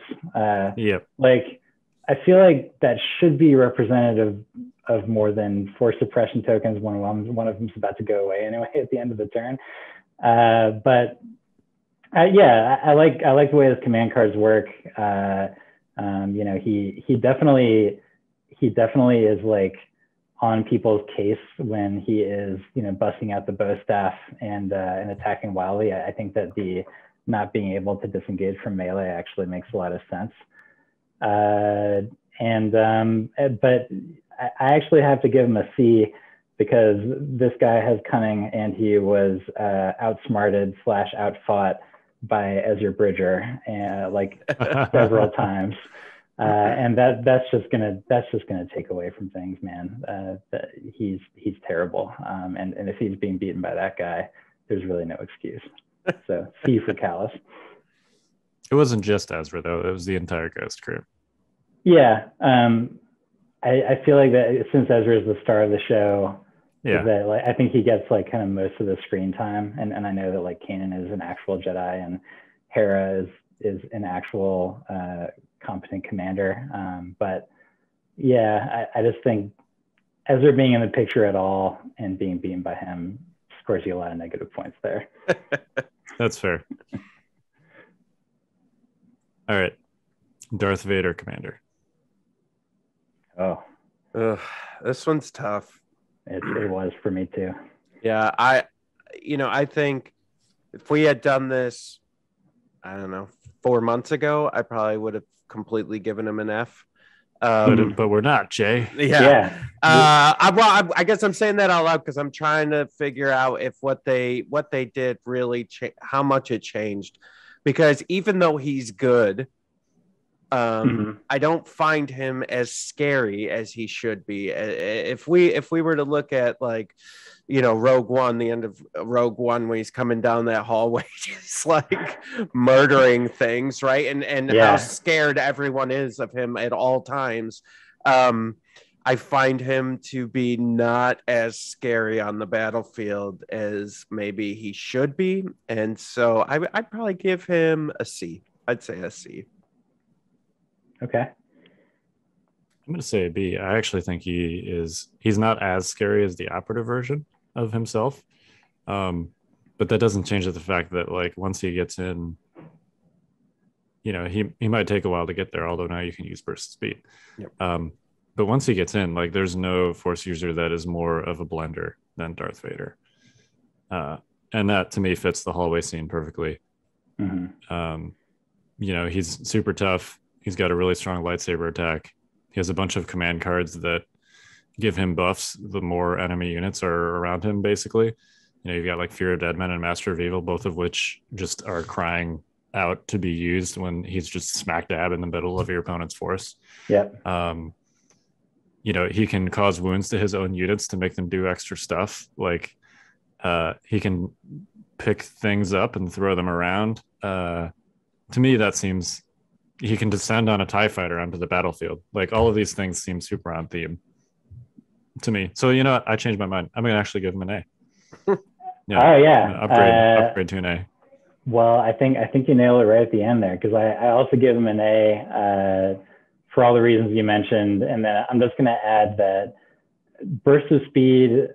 I feel like actually detracted from him a little bit because I just I just can't see Vader scurrying around like a field mouse around the battlefield uh, like that. I feel like he's he's so cool that he doesn't need to walk more than one speed ever uh, is that he will just like you know shamble towards you and knows that you know make you realize that you don't have a chance uh, and since he's doing that the majority of the time uh, that's i think it's uh, I, I think that captures the character well I, and what what got taken away with burst of speed got added back to with compel because i think that new ways was a command card that kind of captured the fact that you know, stormtroopers are going to trip over themselves to do what Vader wants you to do because otherwise they're just going to get choked anyway.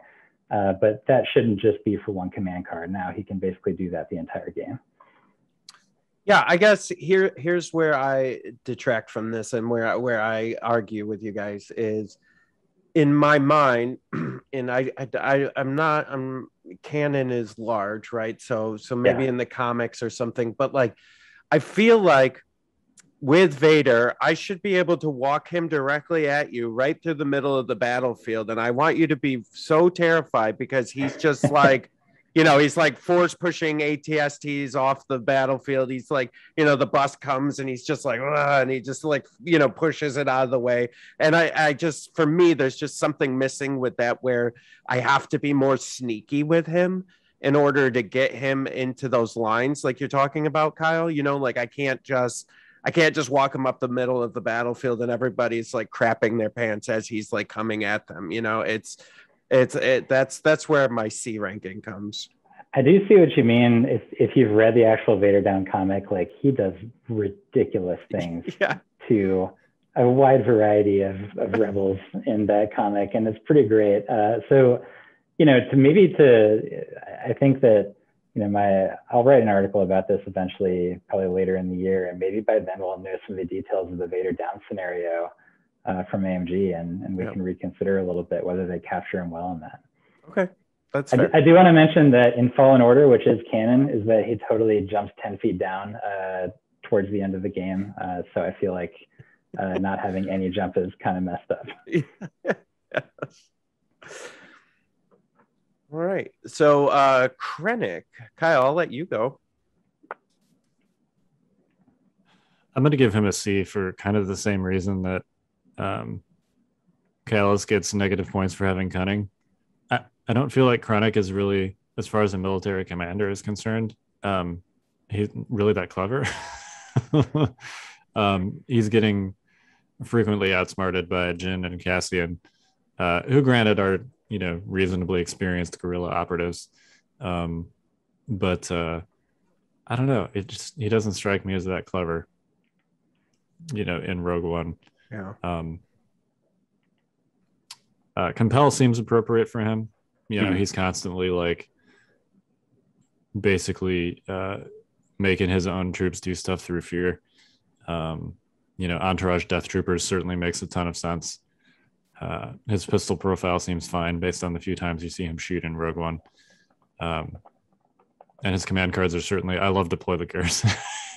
I love the fact that that is a command card for starters, given that that's one of his most uh, salient lines. But um, I feel like Annihilation Looms could be a little more interesting besides just handing out suppression tokens. You know, the implication on that card is everybody's about to get murdered by the Death Star. Um, I feel like that should do more than just hand out a couple suppression tokens. Yeah, I so, yeah, I'm gonna I'm gonna give him a C. Um, yeah, I mean, for all the reasons you kind of named, um, and and like his his one pip voracious ambitions, I I don't. It doesn't really fit him. It doesn't make any sense, like canon wise. If we're talking canon wise, like because it makes him seem really smart. Like, oh, I've got all these other people that I know I can like put into this battle, right? So, for everything that Kyle said, and and and then adding that on, I, I say D. Like he's very whiny and like kind of a baby all throughout Rogue One. And so this card gives him way too much credit and uh, kind of gives him a little bit more like he's kind of a little bit scarier, right? And I, I never felt that in Rogue One. You're just like, yeah, this guy's a twerp. Like Grand Moff Tarkin and Vader are like the were really the scary ones in that whole that whole movie. So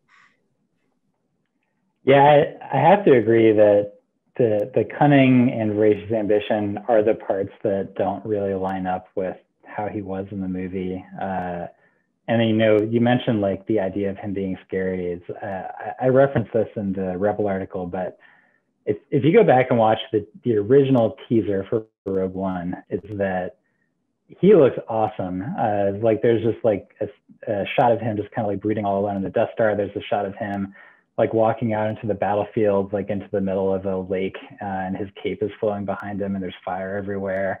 I think that the rewrites, uh, which are kind of famous uh, for what happened to Rogue One, might have done him in a little bit in that department. But I will say, I I give him a B despite all that because he in Legion he's the wimpiest commander on defense in the game who's not uh, you know a generic officer.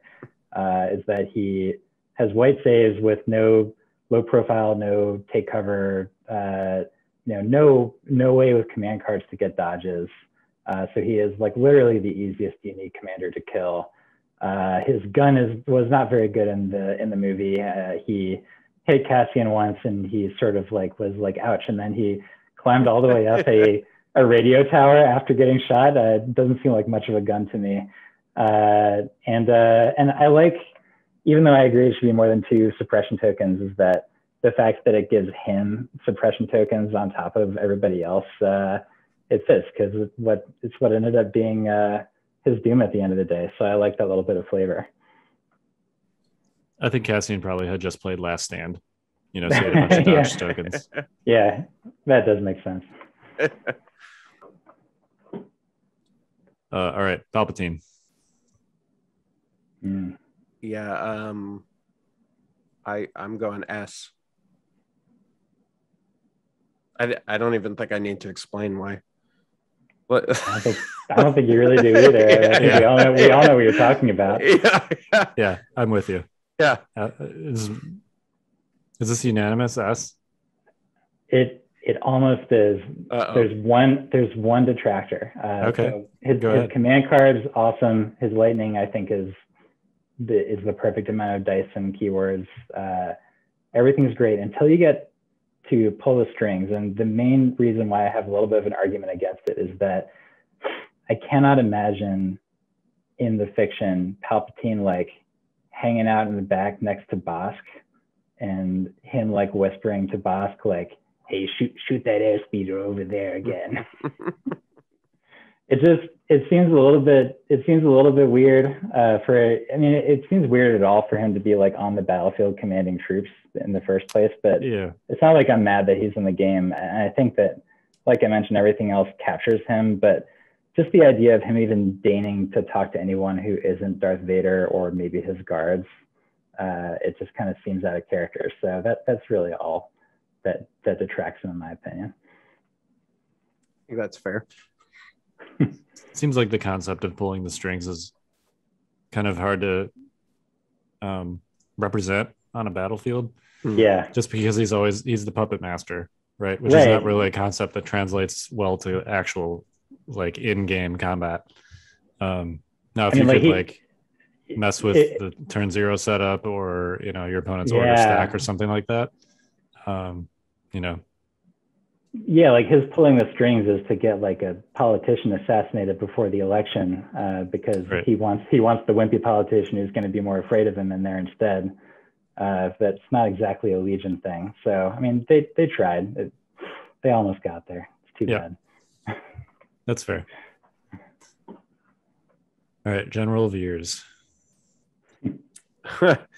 so, uh, as a lot of people know, Veers has been one of my favorite commanders for a long time. Uh, but if we'll, uh, F, I think overall. uh, and so here, here's here's why, and and I'm just making this up on the spot. I have done no pre prep for this podcast at all. Um, it says master tactician right on his card, um, and nothing about him uh, makes me feel like that is what's happening at all Totally agree. ever. Um, you know, I, I, I like I like some of the stuff he does with the vehicles, with his command cards, giving them a dodge and letting them, you know, uh, dodge crits. Uh, uh, the recover is nice, but like I- I don't know, and he does an airstrike. So I, I mean, I don't see any master tactician in there. I just see a bunch of random things. Um, he doesn't have cunning, which you think a master tactician would have. Mhm. Um, you know, he he doesn't have anything um, that makes him smarter. He just or better uh, in the battlefield, maybe spotter too. But yeah, I think overall an F uh, canon wise. So let me ask this because I don't know probably as much about Veers as you do. What's the basis for that subtitle besides like is there any is there any canon Veers that's present besides just what he does in Empire Strikes Back? If I remember correctly, and please, Evan, if you know or if somebody wants to write in, if I remember correctly, a number of the battles, including Hoth, he was credited for winning and like finding them and rooting out the rebels. And so that I think that's why he gets the master tactician thing that he was kind of like, you know, I we see the Luke and you know the Emperor and Vader, but really Veers was leading some of these charges that were taking out the rebels and really putting down the the rebellion and, and everything else. Yeah, I think he's he's referenced a little bit in in some books, and, and that's really mainly what I gathered from Wikipedia. Uh, I, I think I just have this feeling that he got Master Tactician because he was uh, he was the first like non force using Imperial commander to come out in the game, right? Uh, and so I feel like you know it was early in the game's life cycle and you know, I, I think that deep down FFG wanted to convince you of like why should you take this dude who spent his entire canon history inside of the head of an ATAT uh, over, you know, a Lord of the Sith. Um, and then I think that they ended up realizing later that there were other dudes in the Empire who were more along, who actually like showed elements of being a tactician. Uh, and Kyle, did you get to give him a grade yet? Uh, I did think not. I interrupted you. Um, Go ahead. And I, I actually I was gonna give him a B because um you know he doesn't if you just take what you see on Hoth, like nothing about that assault is terribly um clever or fanciful. He just like you know, he has an overwhelming force. Um he lands near his target and then he does a full frontal assault on it. like With, with a the- vehicle that is invincible, basically. what's that? With a vehicle that is basically invincible, except for you know getting tripped up by a speeder.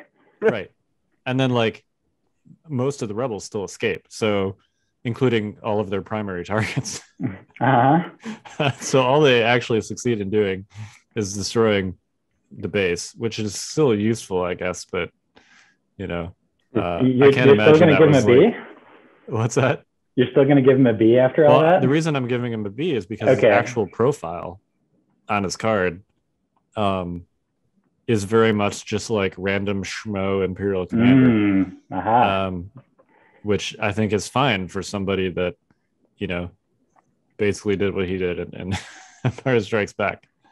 Um, the, the the master tactician subtitle f- has always felt a little bit out of place with him for me, um, because he's just kind of like, you know, dude that doesn't mess up too badly like the other imperial officers in the films. Yeah. um, Yeah, exactly. so, you know, like he's he's average Joe Imperial Commander, which I think is fine. Yeah, I think I think you nailed the fact that a Legion card that is close to as uninspiring as the character was gets a high grade in, in this metric. Uh, Yeah. So, uh, so I I gave him I gave him a B as well. Uh, I think that you know the the pluses for him in this scale are that uh, you know he's just kind of generally uninspiring as is the Legion unit, uh, and also uh, and- to to the point where I actually you know I, I did I I do a little bit of research for this, you know, to, to earn my keep around here. And uh, when looking at Wikipedia, fully a third of his references are to the Star Wars helmet collection. it's not something that I was aware existed until uh, I was looking at his article. And so, if like a third of your of your canon reference material is a is a helmet collection, then uh, it it has to mean that you're kind of unimpressive. Which again goes with the card. I think that really the the thing that takes away from his uh, his accuracy, so to speak, is that. Uh, can you guys correct me if I'm wrong? His one pip is supposed to be an AT-AT shot, right? Yeah, I mean the art- the art is him like pulling down the yeah. you know, Yeah. the, the targeting thing for his his AT-AT. Um, and he he appears to be like in an AT-AT. And you know the quote is from the scene where he blows something up with an AT-AT. So Yeah. yes, I, but that's my assumption. It's kind of a. I So- mean, it's So It's that that pistol. hurts about as much as K2SO punching you. right. Is is basically what I'm getting at. Uh, that's not great. So that that that pulls him away from being a perfect uninspiring S uh, back into being a B, in my opinion. I'm still going F, F, F, F. You're just mad at him. Yeah, I mean, uh, gosh, I think what there was, I I thought too, like he was supposed to be like the reason he wears that body armor too was because he was supposed to like fight like in the front lines like he would if i remember this and maybe this is extended universe right and doesn't apply to canon but like he he would fight in the front lines too and like what it was like uh, like kind of a badass. And so you don't really get that too much in this card and and so i don't know. If we're just basing it off that one movie fine he's a b but if we're really basing it off like all the other stories and you know i don't know f. Fair enough. yeah all right All right, I did.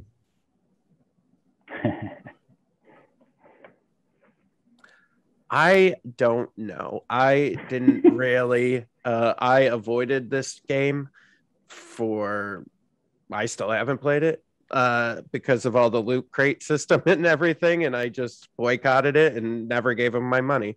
Um, and so I don't know. See, that's just there. That's the Basi- default answer, I guess. Yeah, based on what I know. See, you guys are gonna know more than I will. Yeah, it's a little hard to like rank someone based on a video game because kind of based on how good you are at first person shooters, your mileage may vary. Mm. like, you know, if you're like a twitchy pro at first person shooters, she's going to be the most ultimate badass that, you know, has ever mowed down rebel troopers. Um, or just sort of okay. Uh, yeah. I, I'm gonna give her. I'm gonna give her a B, just because I don't know like what to do with that. Her her abilities and cards um, do a pretty good job of mirroring like what she's capable of in the game. Mhm. Um, you know, between quick quick thinking, uh, you know, covert ops, she's always like infiltrating behind enemy lines. Um, the concept of loadout, you know, is very like first person shooter esque Yeah. um, as is marksman.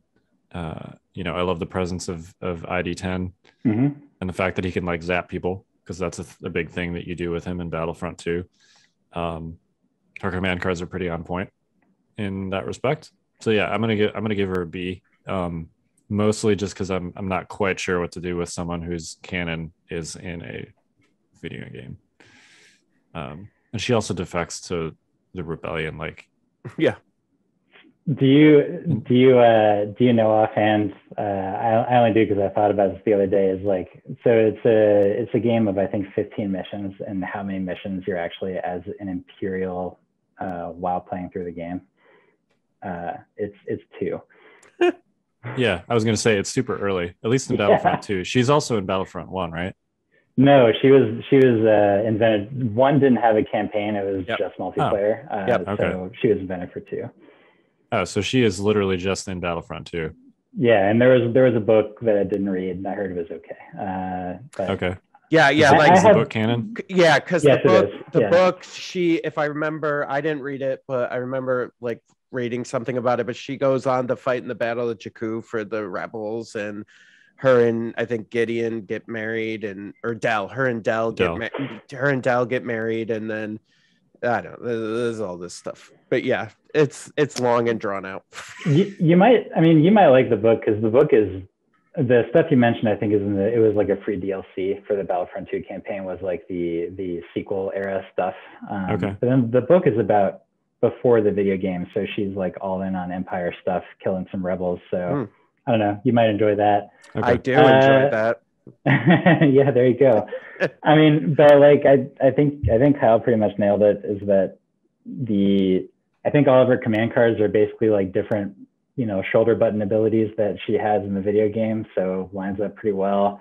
Yeah. Uh, the one thing that I think is kind of messed up is that ID10's range is only one. Uh, when in the game, it's like a thing where you can just kind of look at a trooper and press triangle or whatever, and he will fly like across the entire screen at like Yeah. a dude who is like 10 meters away or whatever and then just like go zap him and he's you know just kind of doing the electrified zappy thing and you can just go up and punch him in the face to finish him off. So i feel like id10 is a little bit underpowered in the game if anything. Uh, but yeah i i think that i think that she gets a b because she's well represented by the stuff that she has but in reality uh, she would have made more sense as a rebel commander as Yep. much as you hate to hear that jay No, I mean it's fine. I get it, right? Like in my experience, she wasn't in Empire that long, so I, you know, and that's I think uh, just a little sidetrack. I think that was a real miss I do in too. some in some of these was is not only you there could have been an opportunity to put in a rebels and an empire card for like a couple of these like her and and and Kallus right and had them have dual roles and and you could have changed the profile right? So if it doesn't make sense uh balance wise to have Iden be as strong you know as strong as she is or have different powers for rebels you could do that on a different card you know? And so i think that was a real missed opportunity to have cross faction with with a number of the characters They got plenty of time. If they run out of ideas, they'll just put her in a leather jacket and re-release her as a rebel commander. yeah but they'll Yeah. only release it to like the stores and you have to like go to a tournament to, to get it She'll, she'll, she'll be a unit card in a different expansion for like Republic or something Right. like that. that won't even have her in it and so you'll have to buy three models kits just to get her Yeah. and the card and her gun that she has for rebels It'll be like getting Republic Chewie. yeah yeah Yeah, You got to buy the yeah. Yoda expansion and the Rebel Oh. Chewie expansion. guys we haven't even made it through the commanders I know we got to plow through some of these. We got to do some some, some Yeah. quicker hits. Um, Imperial Officer. I agree. But I think that is on point, right? Like Yeah. I'd say an A for for. I know. guess the closest I have to that is the, the solo movie, right? And seeing some of the stuff that was going on Mimban, and I guess yeah, A. I give her an A. I think that uh, exactly is that she, as a unit, uh, it's kind of not very exciting, especially when they're shooting. I feel like they might have shot a couple of times in the movies, but it never really worked out, much like the Rebel officer. Uh, Yep. and um, the inspiring thing, I don't think I've seen any any uh, like you know low down imperial officers be very inspiring in any of the canons. So that takes away. I, I give them a B. like, Whatever. Yeah. All right. Uh, operatives. Boba Fett. Okay. Okay. All right. I gotta go back to the rules here. Um, if we're only basing it off of does the cartoon count, Evan? Are we are we counting the the the cartoon? Wasn't he only in the? Wasn't he only in Clone Wars? Was he even in Rebels at all? I meant the original cartoon that was in the oh, Christmas oh special. yeah. Well, that that definitely counts. All right. Uh, yeah, uh, you know, I mean, listen, I he's not great in the game. If we really look, he wasn't that great in the movies. Yeah, Uh, and so, so, hey, You, I think you nailed it. What do you think, Kyle? Uh, I would, I would argue um, that the fact that he's not great in the game has more to do with his points than his unit card. Um, yeah, probably true. his unit card is actually representative of someone that's like very good at killing people. Um, you know, he's got sharpshooter too. he's got surge crit, Mm. um, he's got arsenal too, with multiple weapons on his profile. All of his command cards are weapons, um, in some fashion, and he's really fast. So, um, I'm actually going to give him like a C because if if we're you know, if this is not a effectiveness tier ranking, um, his abilities and cards certainly uh, seem to indicate that this is somebody that's very good at their job. Um, and I guess he did catch Han Solo, which is pretty impressive. But besides that one feat, you know, the most significant thing he does in the movies is get hit in the back by a blind Han Solo and then fly into a whoa, Sarlacc pit. whoa, whoa, hold on. Did he catch Han Solo? He he followed him to Cloud City. He was the one who told Vader where he was. So Right, I, I give so him credit for tracking at least. He needed the assist yeah. He did. from Yeah. Vader Yeah. to even catch him. That's yeah, I. Boba Fett movie generation, not as great as we all made him out to be uh, Mhm. overall. We all tricked ourselves. Well, Yeah. and that's that's why I'm giving him like a C because his unit card is kind of that of a badass, and in the movie he's I yeah, I understand Really what you're not. saying, but I don't feel like that ever plays out that way in the game. Like that's that's what his unit card feels like, but when you actually play him, he never turns I, out I, that. I agree. My my picture of him in the game is based on my experiences usually playing against him in the game, which is that uh, he he has he his bark is worse than his bite, and I think that lines up with the with the canon version pretty well. Uh, so I, I think the I think you guys both have good points. I think I'm, I'm landing at a B to kind of split the difference. I, I will just say one funny thing is that uh, basically all of his command cards are from the same five minutes of Return of the Jedi. Because I'm like imagining Alex and Luke like reviewing the Boba Fett footage that they can use. I'm like, okay, well, there's this one scene on the sail barge where he does some things, so let's just make that his command. yep exactly bad. not a lot to work with there. Yeah, exactly. All right, Bossk. Hmm. I mean, I guess you got to go deep on on Clone Wars TV show for this because Yeah. in Empire Strikes Back, all he does is stand menacingly on a Star Destroyer. yeah. yeah, I mean, um, eh, I, I guess he. Uh, see, I, I don't know. I, I he does some cool stuff in uh, you know from the Clone Wars episodes I saw. Uh, I think they made up some stuff, you know, for the game to kind of make him more fleshed out, and so yeah, I, I would say a C.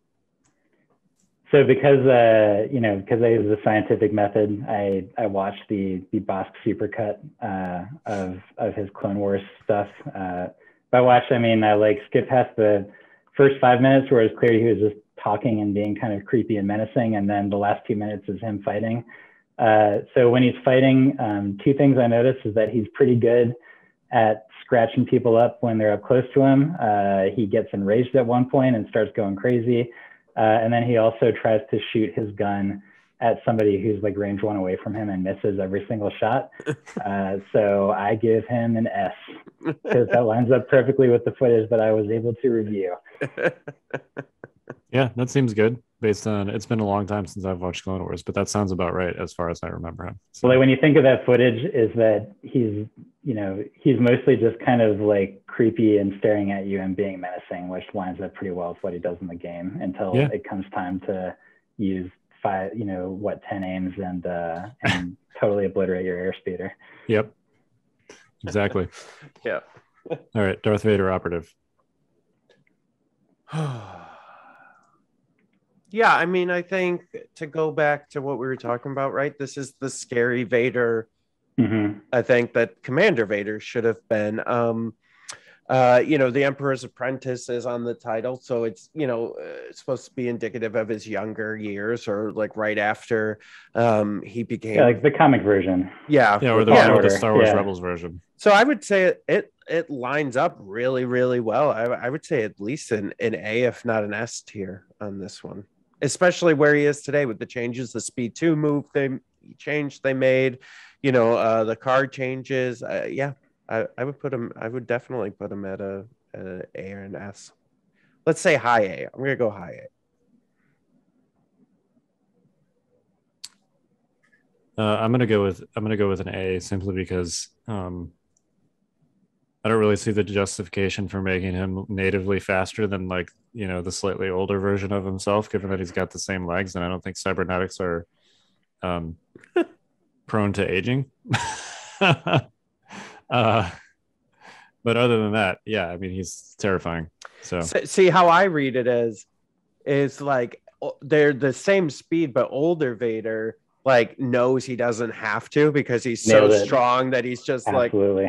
and, you know I, the- I guess yeah this Vader's like still learning his powers so he's kind of like got to move a little bit faster to catch up with stuff but Yeah, I, I think you nailed it. I think he's just more confident when he's older, and he just he and he's also more confident about uh, you know, just knowing that his his troops better put a motor on if they want to have a chance at not being dead by the end of the day. yeah Uh, and uh, yeah, and I think really the the only thing I can add is that uh, this this was saved from being a lower grade by the recent RG because I've always thought that the idea of Vader like looking at his watch and going, "Oh, look at the time! I better hurry up," uh, was always was always kind of dumb. So just making him natively faster was a much better choice. I, I agree with an A.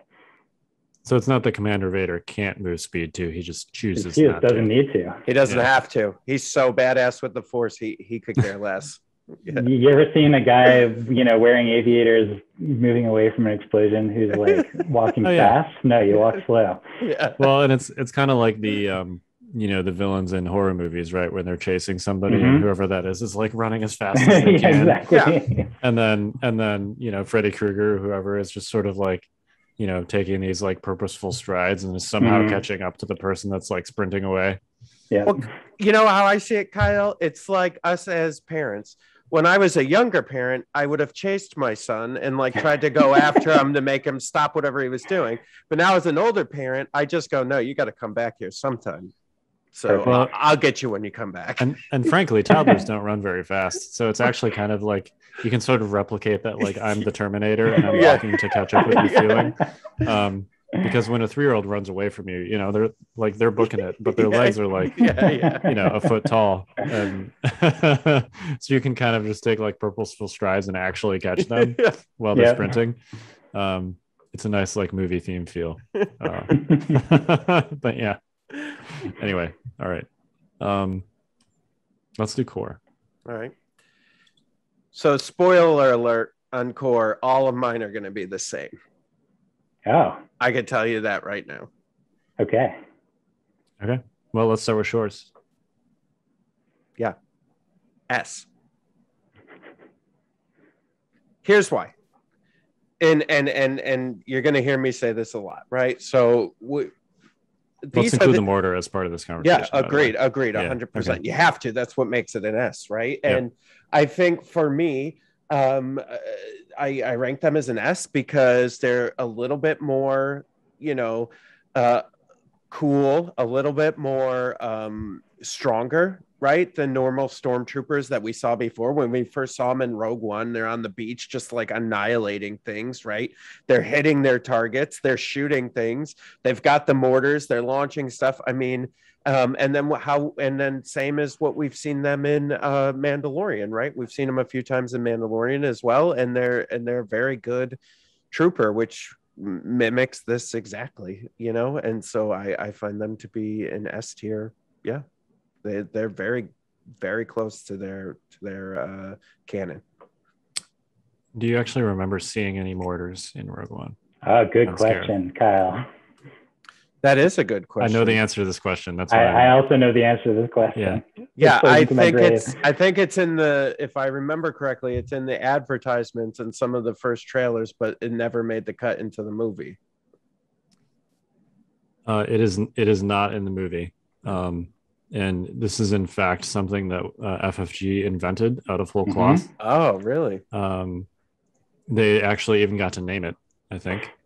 Uh, so yeah, I'm gonna give them a C. Um, I agree on the shores themselves, um, but given that the mortar is, um, which is really cool, by the way, that FFG got to do that. I'm not saying they shouldn't be doing these things. I think that's great. But if if we're ranking them based purely on like what's present in canon, you have a you have a unit in the in the DF90 mortar trooper that like literally doesn't exist in Star Wars canon. So wow. Well, you um, got me, Kyle. You did it.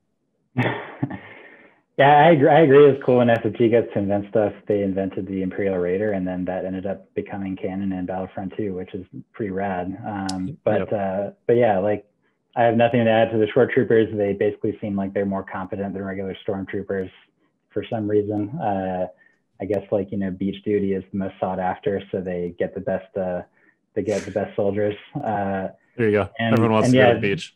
yeah, exactly. Uh, and the mortar doesn't really exist in canon. It's funny when I looked it up on Wikipedia and they had one reference, which was to the Star Wars Legion Shore Troopers unit expansion, and I was like, oh, and that's how I found out about it. I think uh, I think you probably knew a different way, Kyle, but uh, yeah, so it averages out to a C uh, because the shores get an A or an S, and uh, the uh, the mortars get a zero.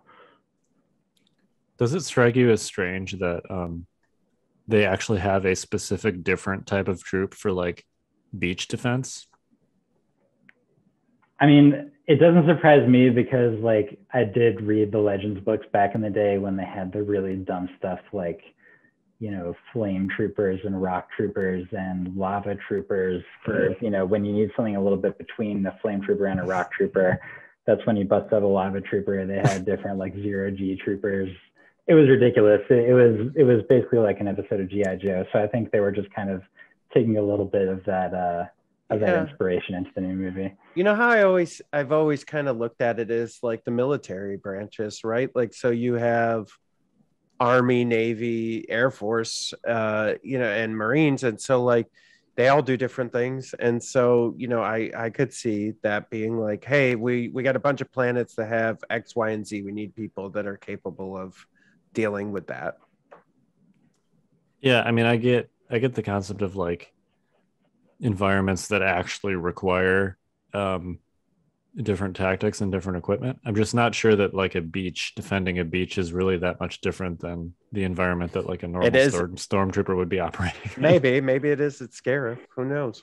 I think I it don't was a cost saving measure because they don't have armor on their legs, and that way they can just kind of squat in the water, uh, and uh, it helps with the budget um, when you're trying to do that for the Imperial Senate. That, There that you go. that seems like the most imperial reason to, Yeah, to say, hey, we're going to take away the leg armor and call you a short trooper. There you go. Yeah, They certainly look cooler. Yeah. Um, all right, snow troopers. S. Here's why they look exactly like they should. They've got a flame trooper and they uh, have steady, which is amazing, which kind of lines up with with with what they were doing on Hoth and killing them rebel troopers. I like it. Yeah, I'm with you. I'm not going to overthink this one. I agree. I, I I think that it makes sense that they would go slower because they, you know, have some extra layers in there. Um, and uh, when you're going slower, it's easier to aim. So it's basically as simple as that. I don't remember any uh, flamethrowers or ion cannons in the movies, but I'm not going to let that take away. Let's just give it an S. Well, there are canon sources for that other than just um, Yeah, You know, yeah. There, like there's, video there's probably games and some other stuff, stuff maybe. out there. but um, other other than just you know FFG making something up. Yeah. All right, stormtroopers. Uh, S. It's still a funny joke. Yeah. I mean, you know, like is. when when when when somebody when somebody either rolls all misses or mostly hits and then uses precise to roll into fully hits, you can use the same joke for either one at the tabletop, and Yep. it's it still hasn't gotten old. Yeah, So it's perfect. I agree. It is absolutely perfect. the the only um you know we're not we're not doing points as part of this i was going to say the only the only thing i would say is i feel like they should be more numerous for what you're paying for them uh based on the like the fact that they're the literal original red shirt in star wars um but uh yeah that's my only my only gripe I think as time bread. goes on, they're just going to keep getting cheaper. So yeah you're probably right especially the heavies. Yeah. Uh, all right. Special forces. This is going to be a long list, so we should probably try and plow through these a little bit. Uh, Death I think we should group together the scouts. So that way we That's make fair. shorter. Yep. Yeah. All right, Death Troopers.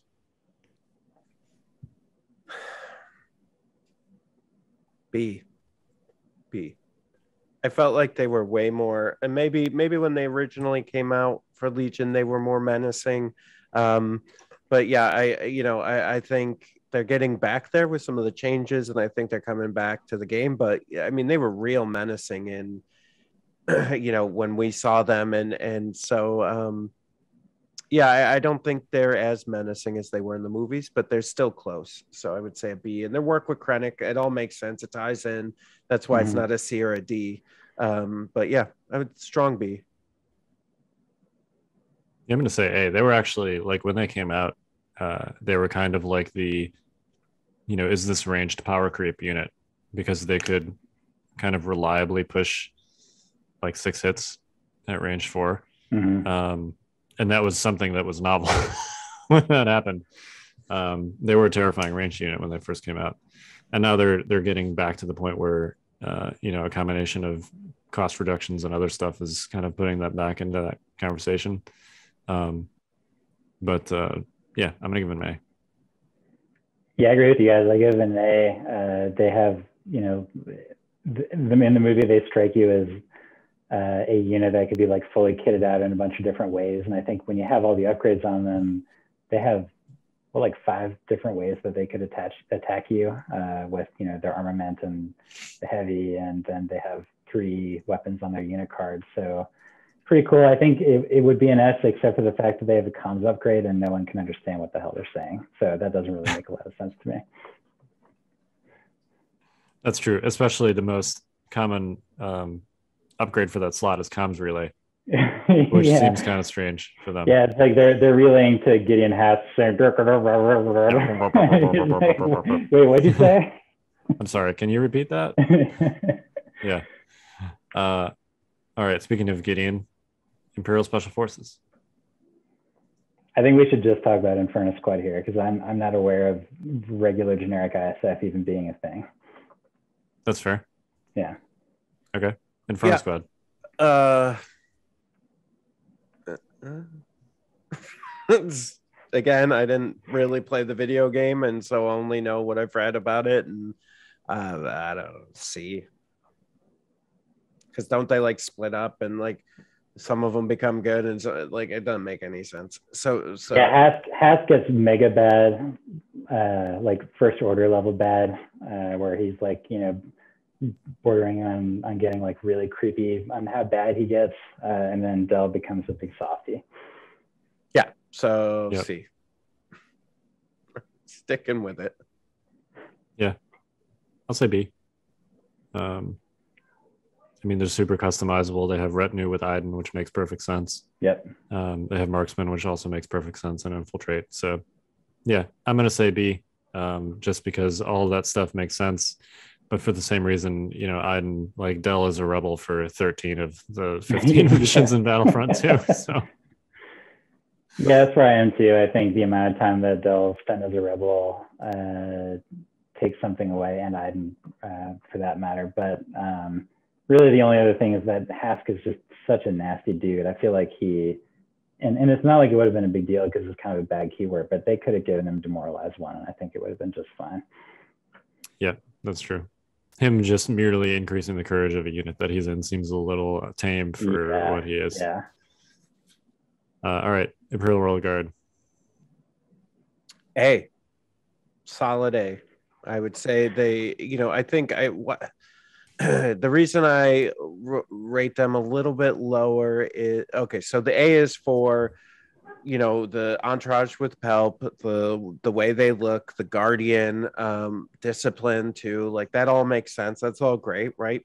Um, the I think I I don't go S just because I don't really, you know, you'd have to go pretty far to see them fight and do any like real crazy stuff. And so the blaster seems weird. And, you know, um, I get that they're supposed to be good fighters and we all assume that they were because they were Guardian Palpatine. So why wouldn't they be? But like at the same time, you don't really, um, you have to go pretty deep to see anything like that. So yeah, uh, an A. I'm going to say C for two reasons. Uh, the first is that um, now that we have a more specific guardian keyword, it kind of makes me wonder if, you know, they would benefit from a specific, just like Bingo. guardian Palpatine. Yeah. Um, because I really can't see like a royal guard diving in front of a laser shot for a stormtrooper. right. Yeah. Uh, so that's the primary reason. Uh, the second, uh, and this is kind of a complaint with all units that have pistols in Star Wars. Um, I don't really get why Star Wars pistols have like more dice and more volume of fire than things that aren't pistols. You know, in modern combat, um, unless you have like a machine pistol or a submachine gun or something like that, you're not going to really get more volume of fire or more accuracy than like an assault rifle. Um, you know, pistols are just like objectively inferior in terms of range and damage output to things that have barrels on them. Yep. um, so why a pistol gets two black dice when like an E11 gets one white dice. Um, Yeah. I guess you could say maybe it's in the hands of like an elite soldier. So But if that if a- that were the case, right? If you look at in, uh, if you look at Death Troopers, they have an E11. What is it? D, and it's Yeah. a one to three, one black dice, and it's Yeah. like, well, they're more elite, aren't they? Like, Right. Death And you is look in at, their like, name. like the fleet pistols have two dice, you know, the scout trooper pistols have two dice. It seems to be a thing that like pistols have more dice, and I, I just I really don't understand why. They should just be worse. I mean, it's, it's purely game balance, that you can make Yeah. short range characters more impressive. Uh, I mean, that's all there is to it. And, and I, so I agree, it takes something away. Uh, also, in Battlefront One, when you when somebody spawned as the Emperor, like I think two players got to spawn for free as Royal Guards. They had a rocket launcher in Battlefront One really? yeah just like the magna guards do now and so and and you know i wonder if you know if they redid that card now if they wouldn't think about giving them more than one uh, you know because right now the heavy basically just enables them to be really annoying at close range but um, they, they could have been they could have been more like the magna. And and i actually for for this one i maybe went a little bit extreme. I went all the way to an f because mainly because of one experience. I had uh, uh, playing a game where Rex did a very nice uh, air support shot, got a lot of hits, and uh, they they like dove in front of two Imperial snipers in order to take the hits for them and basically save the units. And I just remember thinking at the time is like, how stupid is this that like the Emperor's guards are going to be bothering themselves protecting these peons when Yeah. their dude's right there. Yep. Uh, so I just think they need to fix that keyword and then they could flip things around. Yeah. Unfortunately, make them a lot less good in the game if they did Yeah. that. But yeah, True. thematically, it seems like it should just be sort of like Guardian Six Palpatine. You know. Yeah, Um, they, they should be able to wipe themselves out with one hit if they wanted to. right. That's for their dude. Yep. Um, all right, Scout Troopers.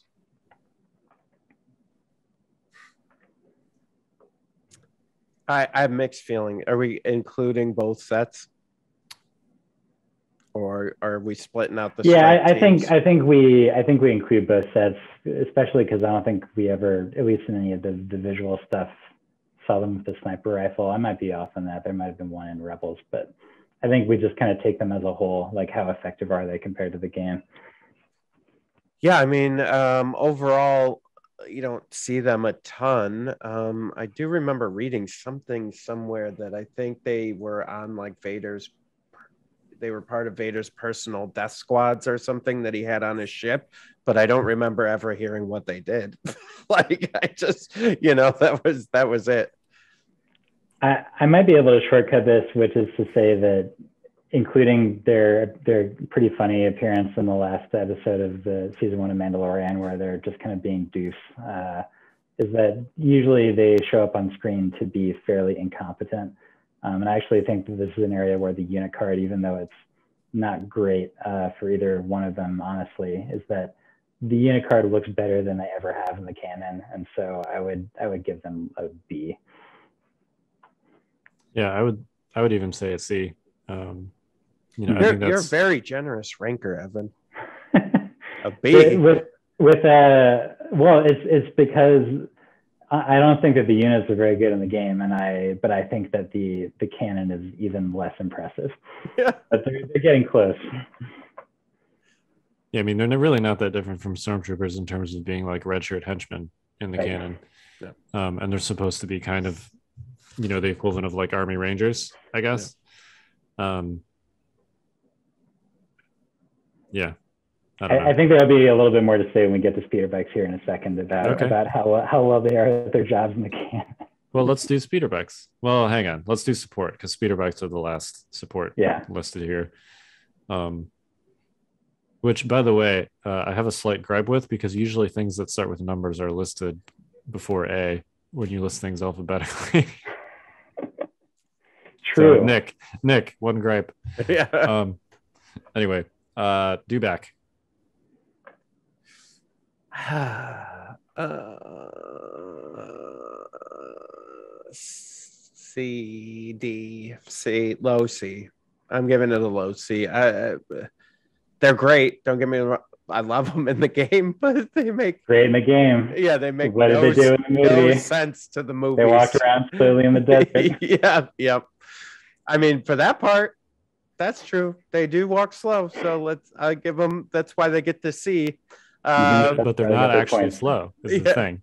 They're like Right. extremely Uh, fast Yeah, in yeah, the game. yeah.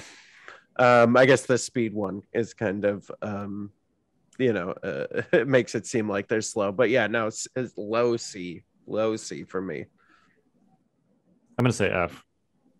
Um, because yeah, they. I don't know. They in in Star Wars Legion, they like run around the battlefield super fast and go nom nom nom on things, and um, I mean, there's certainly their their screen time is fairly limited in canon, but um, it's hard for me to even picture something that is essentially like an oversized mule uh, as far as I can tell, Yeah. uh, doing something like that. Um, like when you see them in in you know on Tatooine, you're you're like, why are these guys even riding one of these? Like, how is this superior to a speeder bike or literally any other sort of modern technology? Um, Hmm. especially when you're searching is like how much ground are you covering compared to yeah like you said a speeder bike when you're looking for droids is that you're you're walking on at like five miles an hour uh, it just doesn't seem very efficient so yeah i i agree with f because the legion unit card is like really good and when you see it across the field you're like you know calculating time until death uh, in terms of like how far exactly away am i uh, do i have do I have two turns before they're going to be, you know, eating my face, or maybe even just one turn if there's new ways going on? Uh, and then in uh, in the movies, they uh, are slowly crawling around the desert. Uh, Yep. and that's really all I can say. I, I guess there is the accurate part that I think the guy in New Hope has is has a T21 on him, so that's technically true, but that's not enough to bring him out of F status for me. Yeah, and also like in what world is I mean, so so Star Wars is kind of modeled after World War II combat, both Mhm. the space and the, the ground combat. Um and like in what world would a World War II style combat uh would it be effective to mount on some kind of creature and take a lance and charge at your enemy? like Yeah, You know, not even- great. yeah, not great. Uh, so anyway, yeah, F. All right, eWeb. Uh, B. I'm going B. And I think um, you know, it was nice. They they they were in Empire. Um, I don't remember how much damage they did in that, but Um, I liked the call out in Mandalorian, which made it even better and kind of upped the ante of the E-Web and made those surge to crits seem a little bit more relevant uh, in canon. So I would say a B for the E-Webs. Uh, I'm going to say an F um, for two reasons. Um, largely based on the Mandalorian appearance, where it appears to be essentially like a heavy machine gun, right? Like an MG42, where it has the firepower of multiple, you know, dudes, multiple squads of dudes with like normal rifles. Um, and where, you know, when Moff Gideon is talking it up, it's basically like, yeah, you guys might be a bunch of, you know, heroic uh, plot armor, good guys. Um, but I got an E-Web, so, you know, you're pretty much screwed. Um, like five dice for something yeah. like that.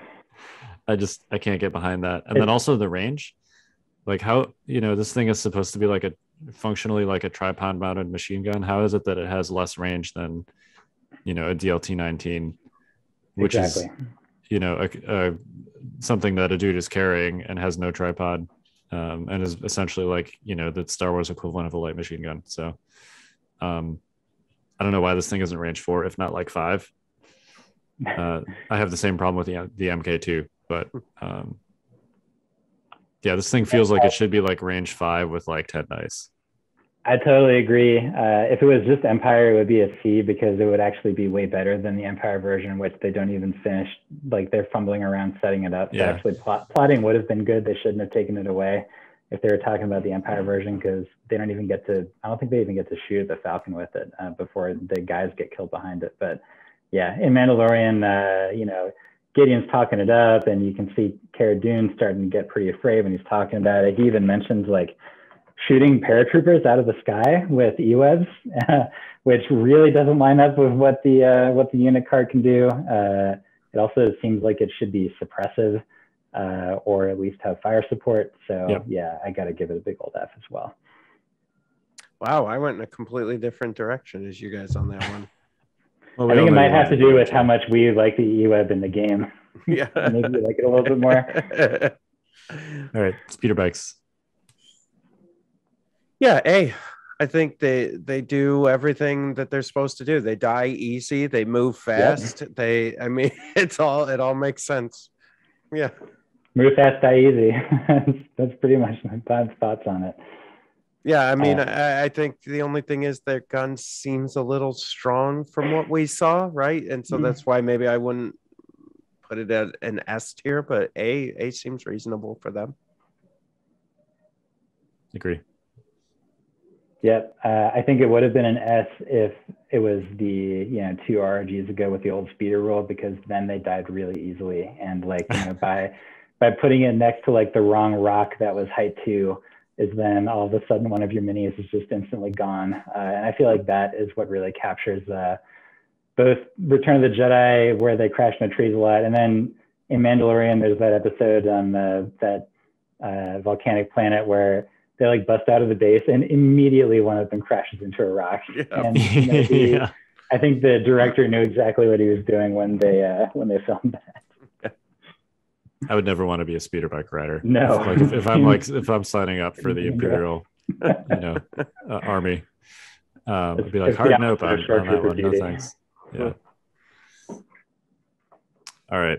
Uh, let's talk about the uh, two heavy. I'm sorry, three heavies. Um, I don't for forgetting it. Yeah, one. it's effectively two. But yeah, go ahead. yeah. Uh, ATST.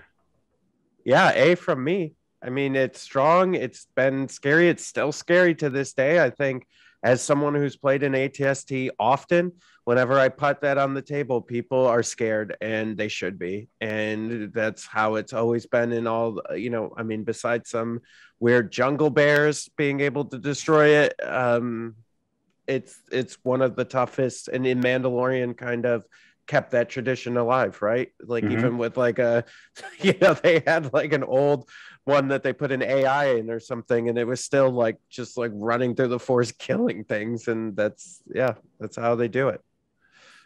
A. Yep, agree.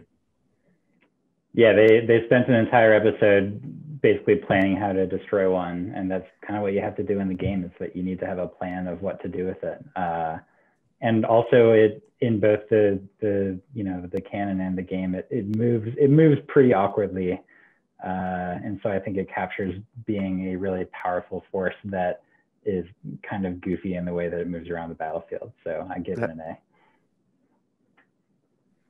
All right, the LAT LE patrol transport.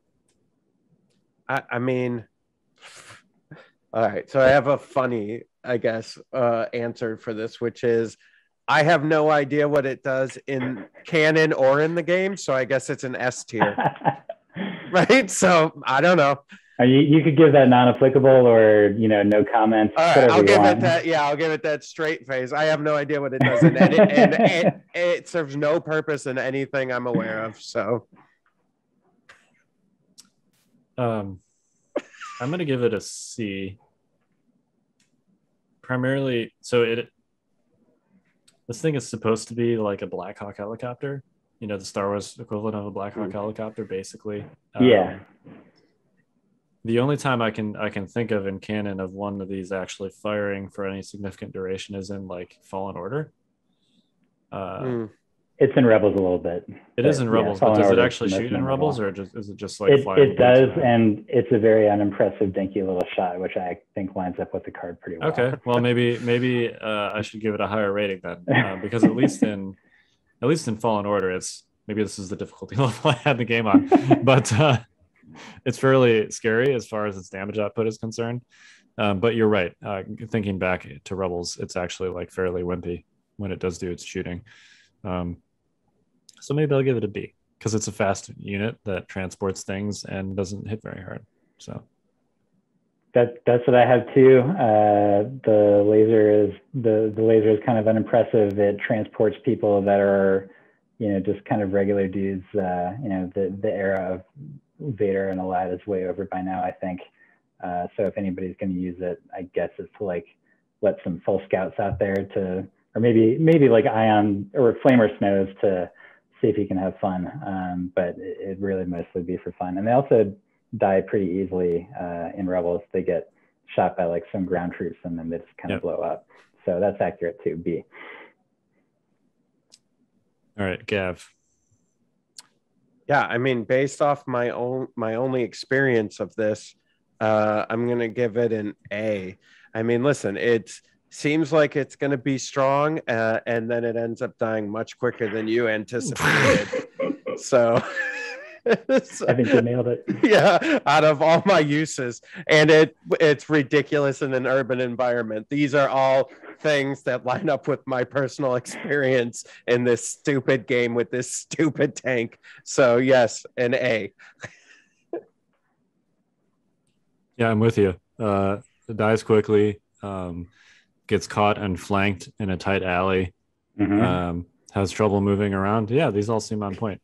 yeah Yeah, I, I was initially thinking C because I thought that the game version of it actually seemed better than the one in Rogue One in terms of like it being able to shoot from far away uh, and you know maybe put on some damage. But then I remembered just like that scene, you know, the one scene that we're all thinking of, uh, and just yeah, I could see it in the game of being trapped in there and realizing that there's literally no amount of reposition that's going to save me from from this tank being in exactly the wrong place in order to help with the objective at all. And then when I remembered that, I was like, okay, it's an A.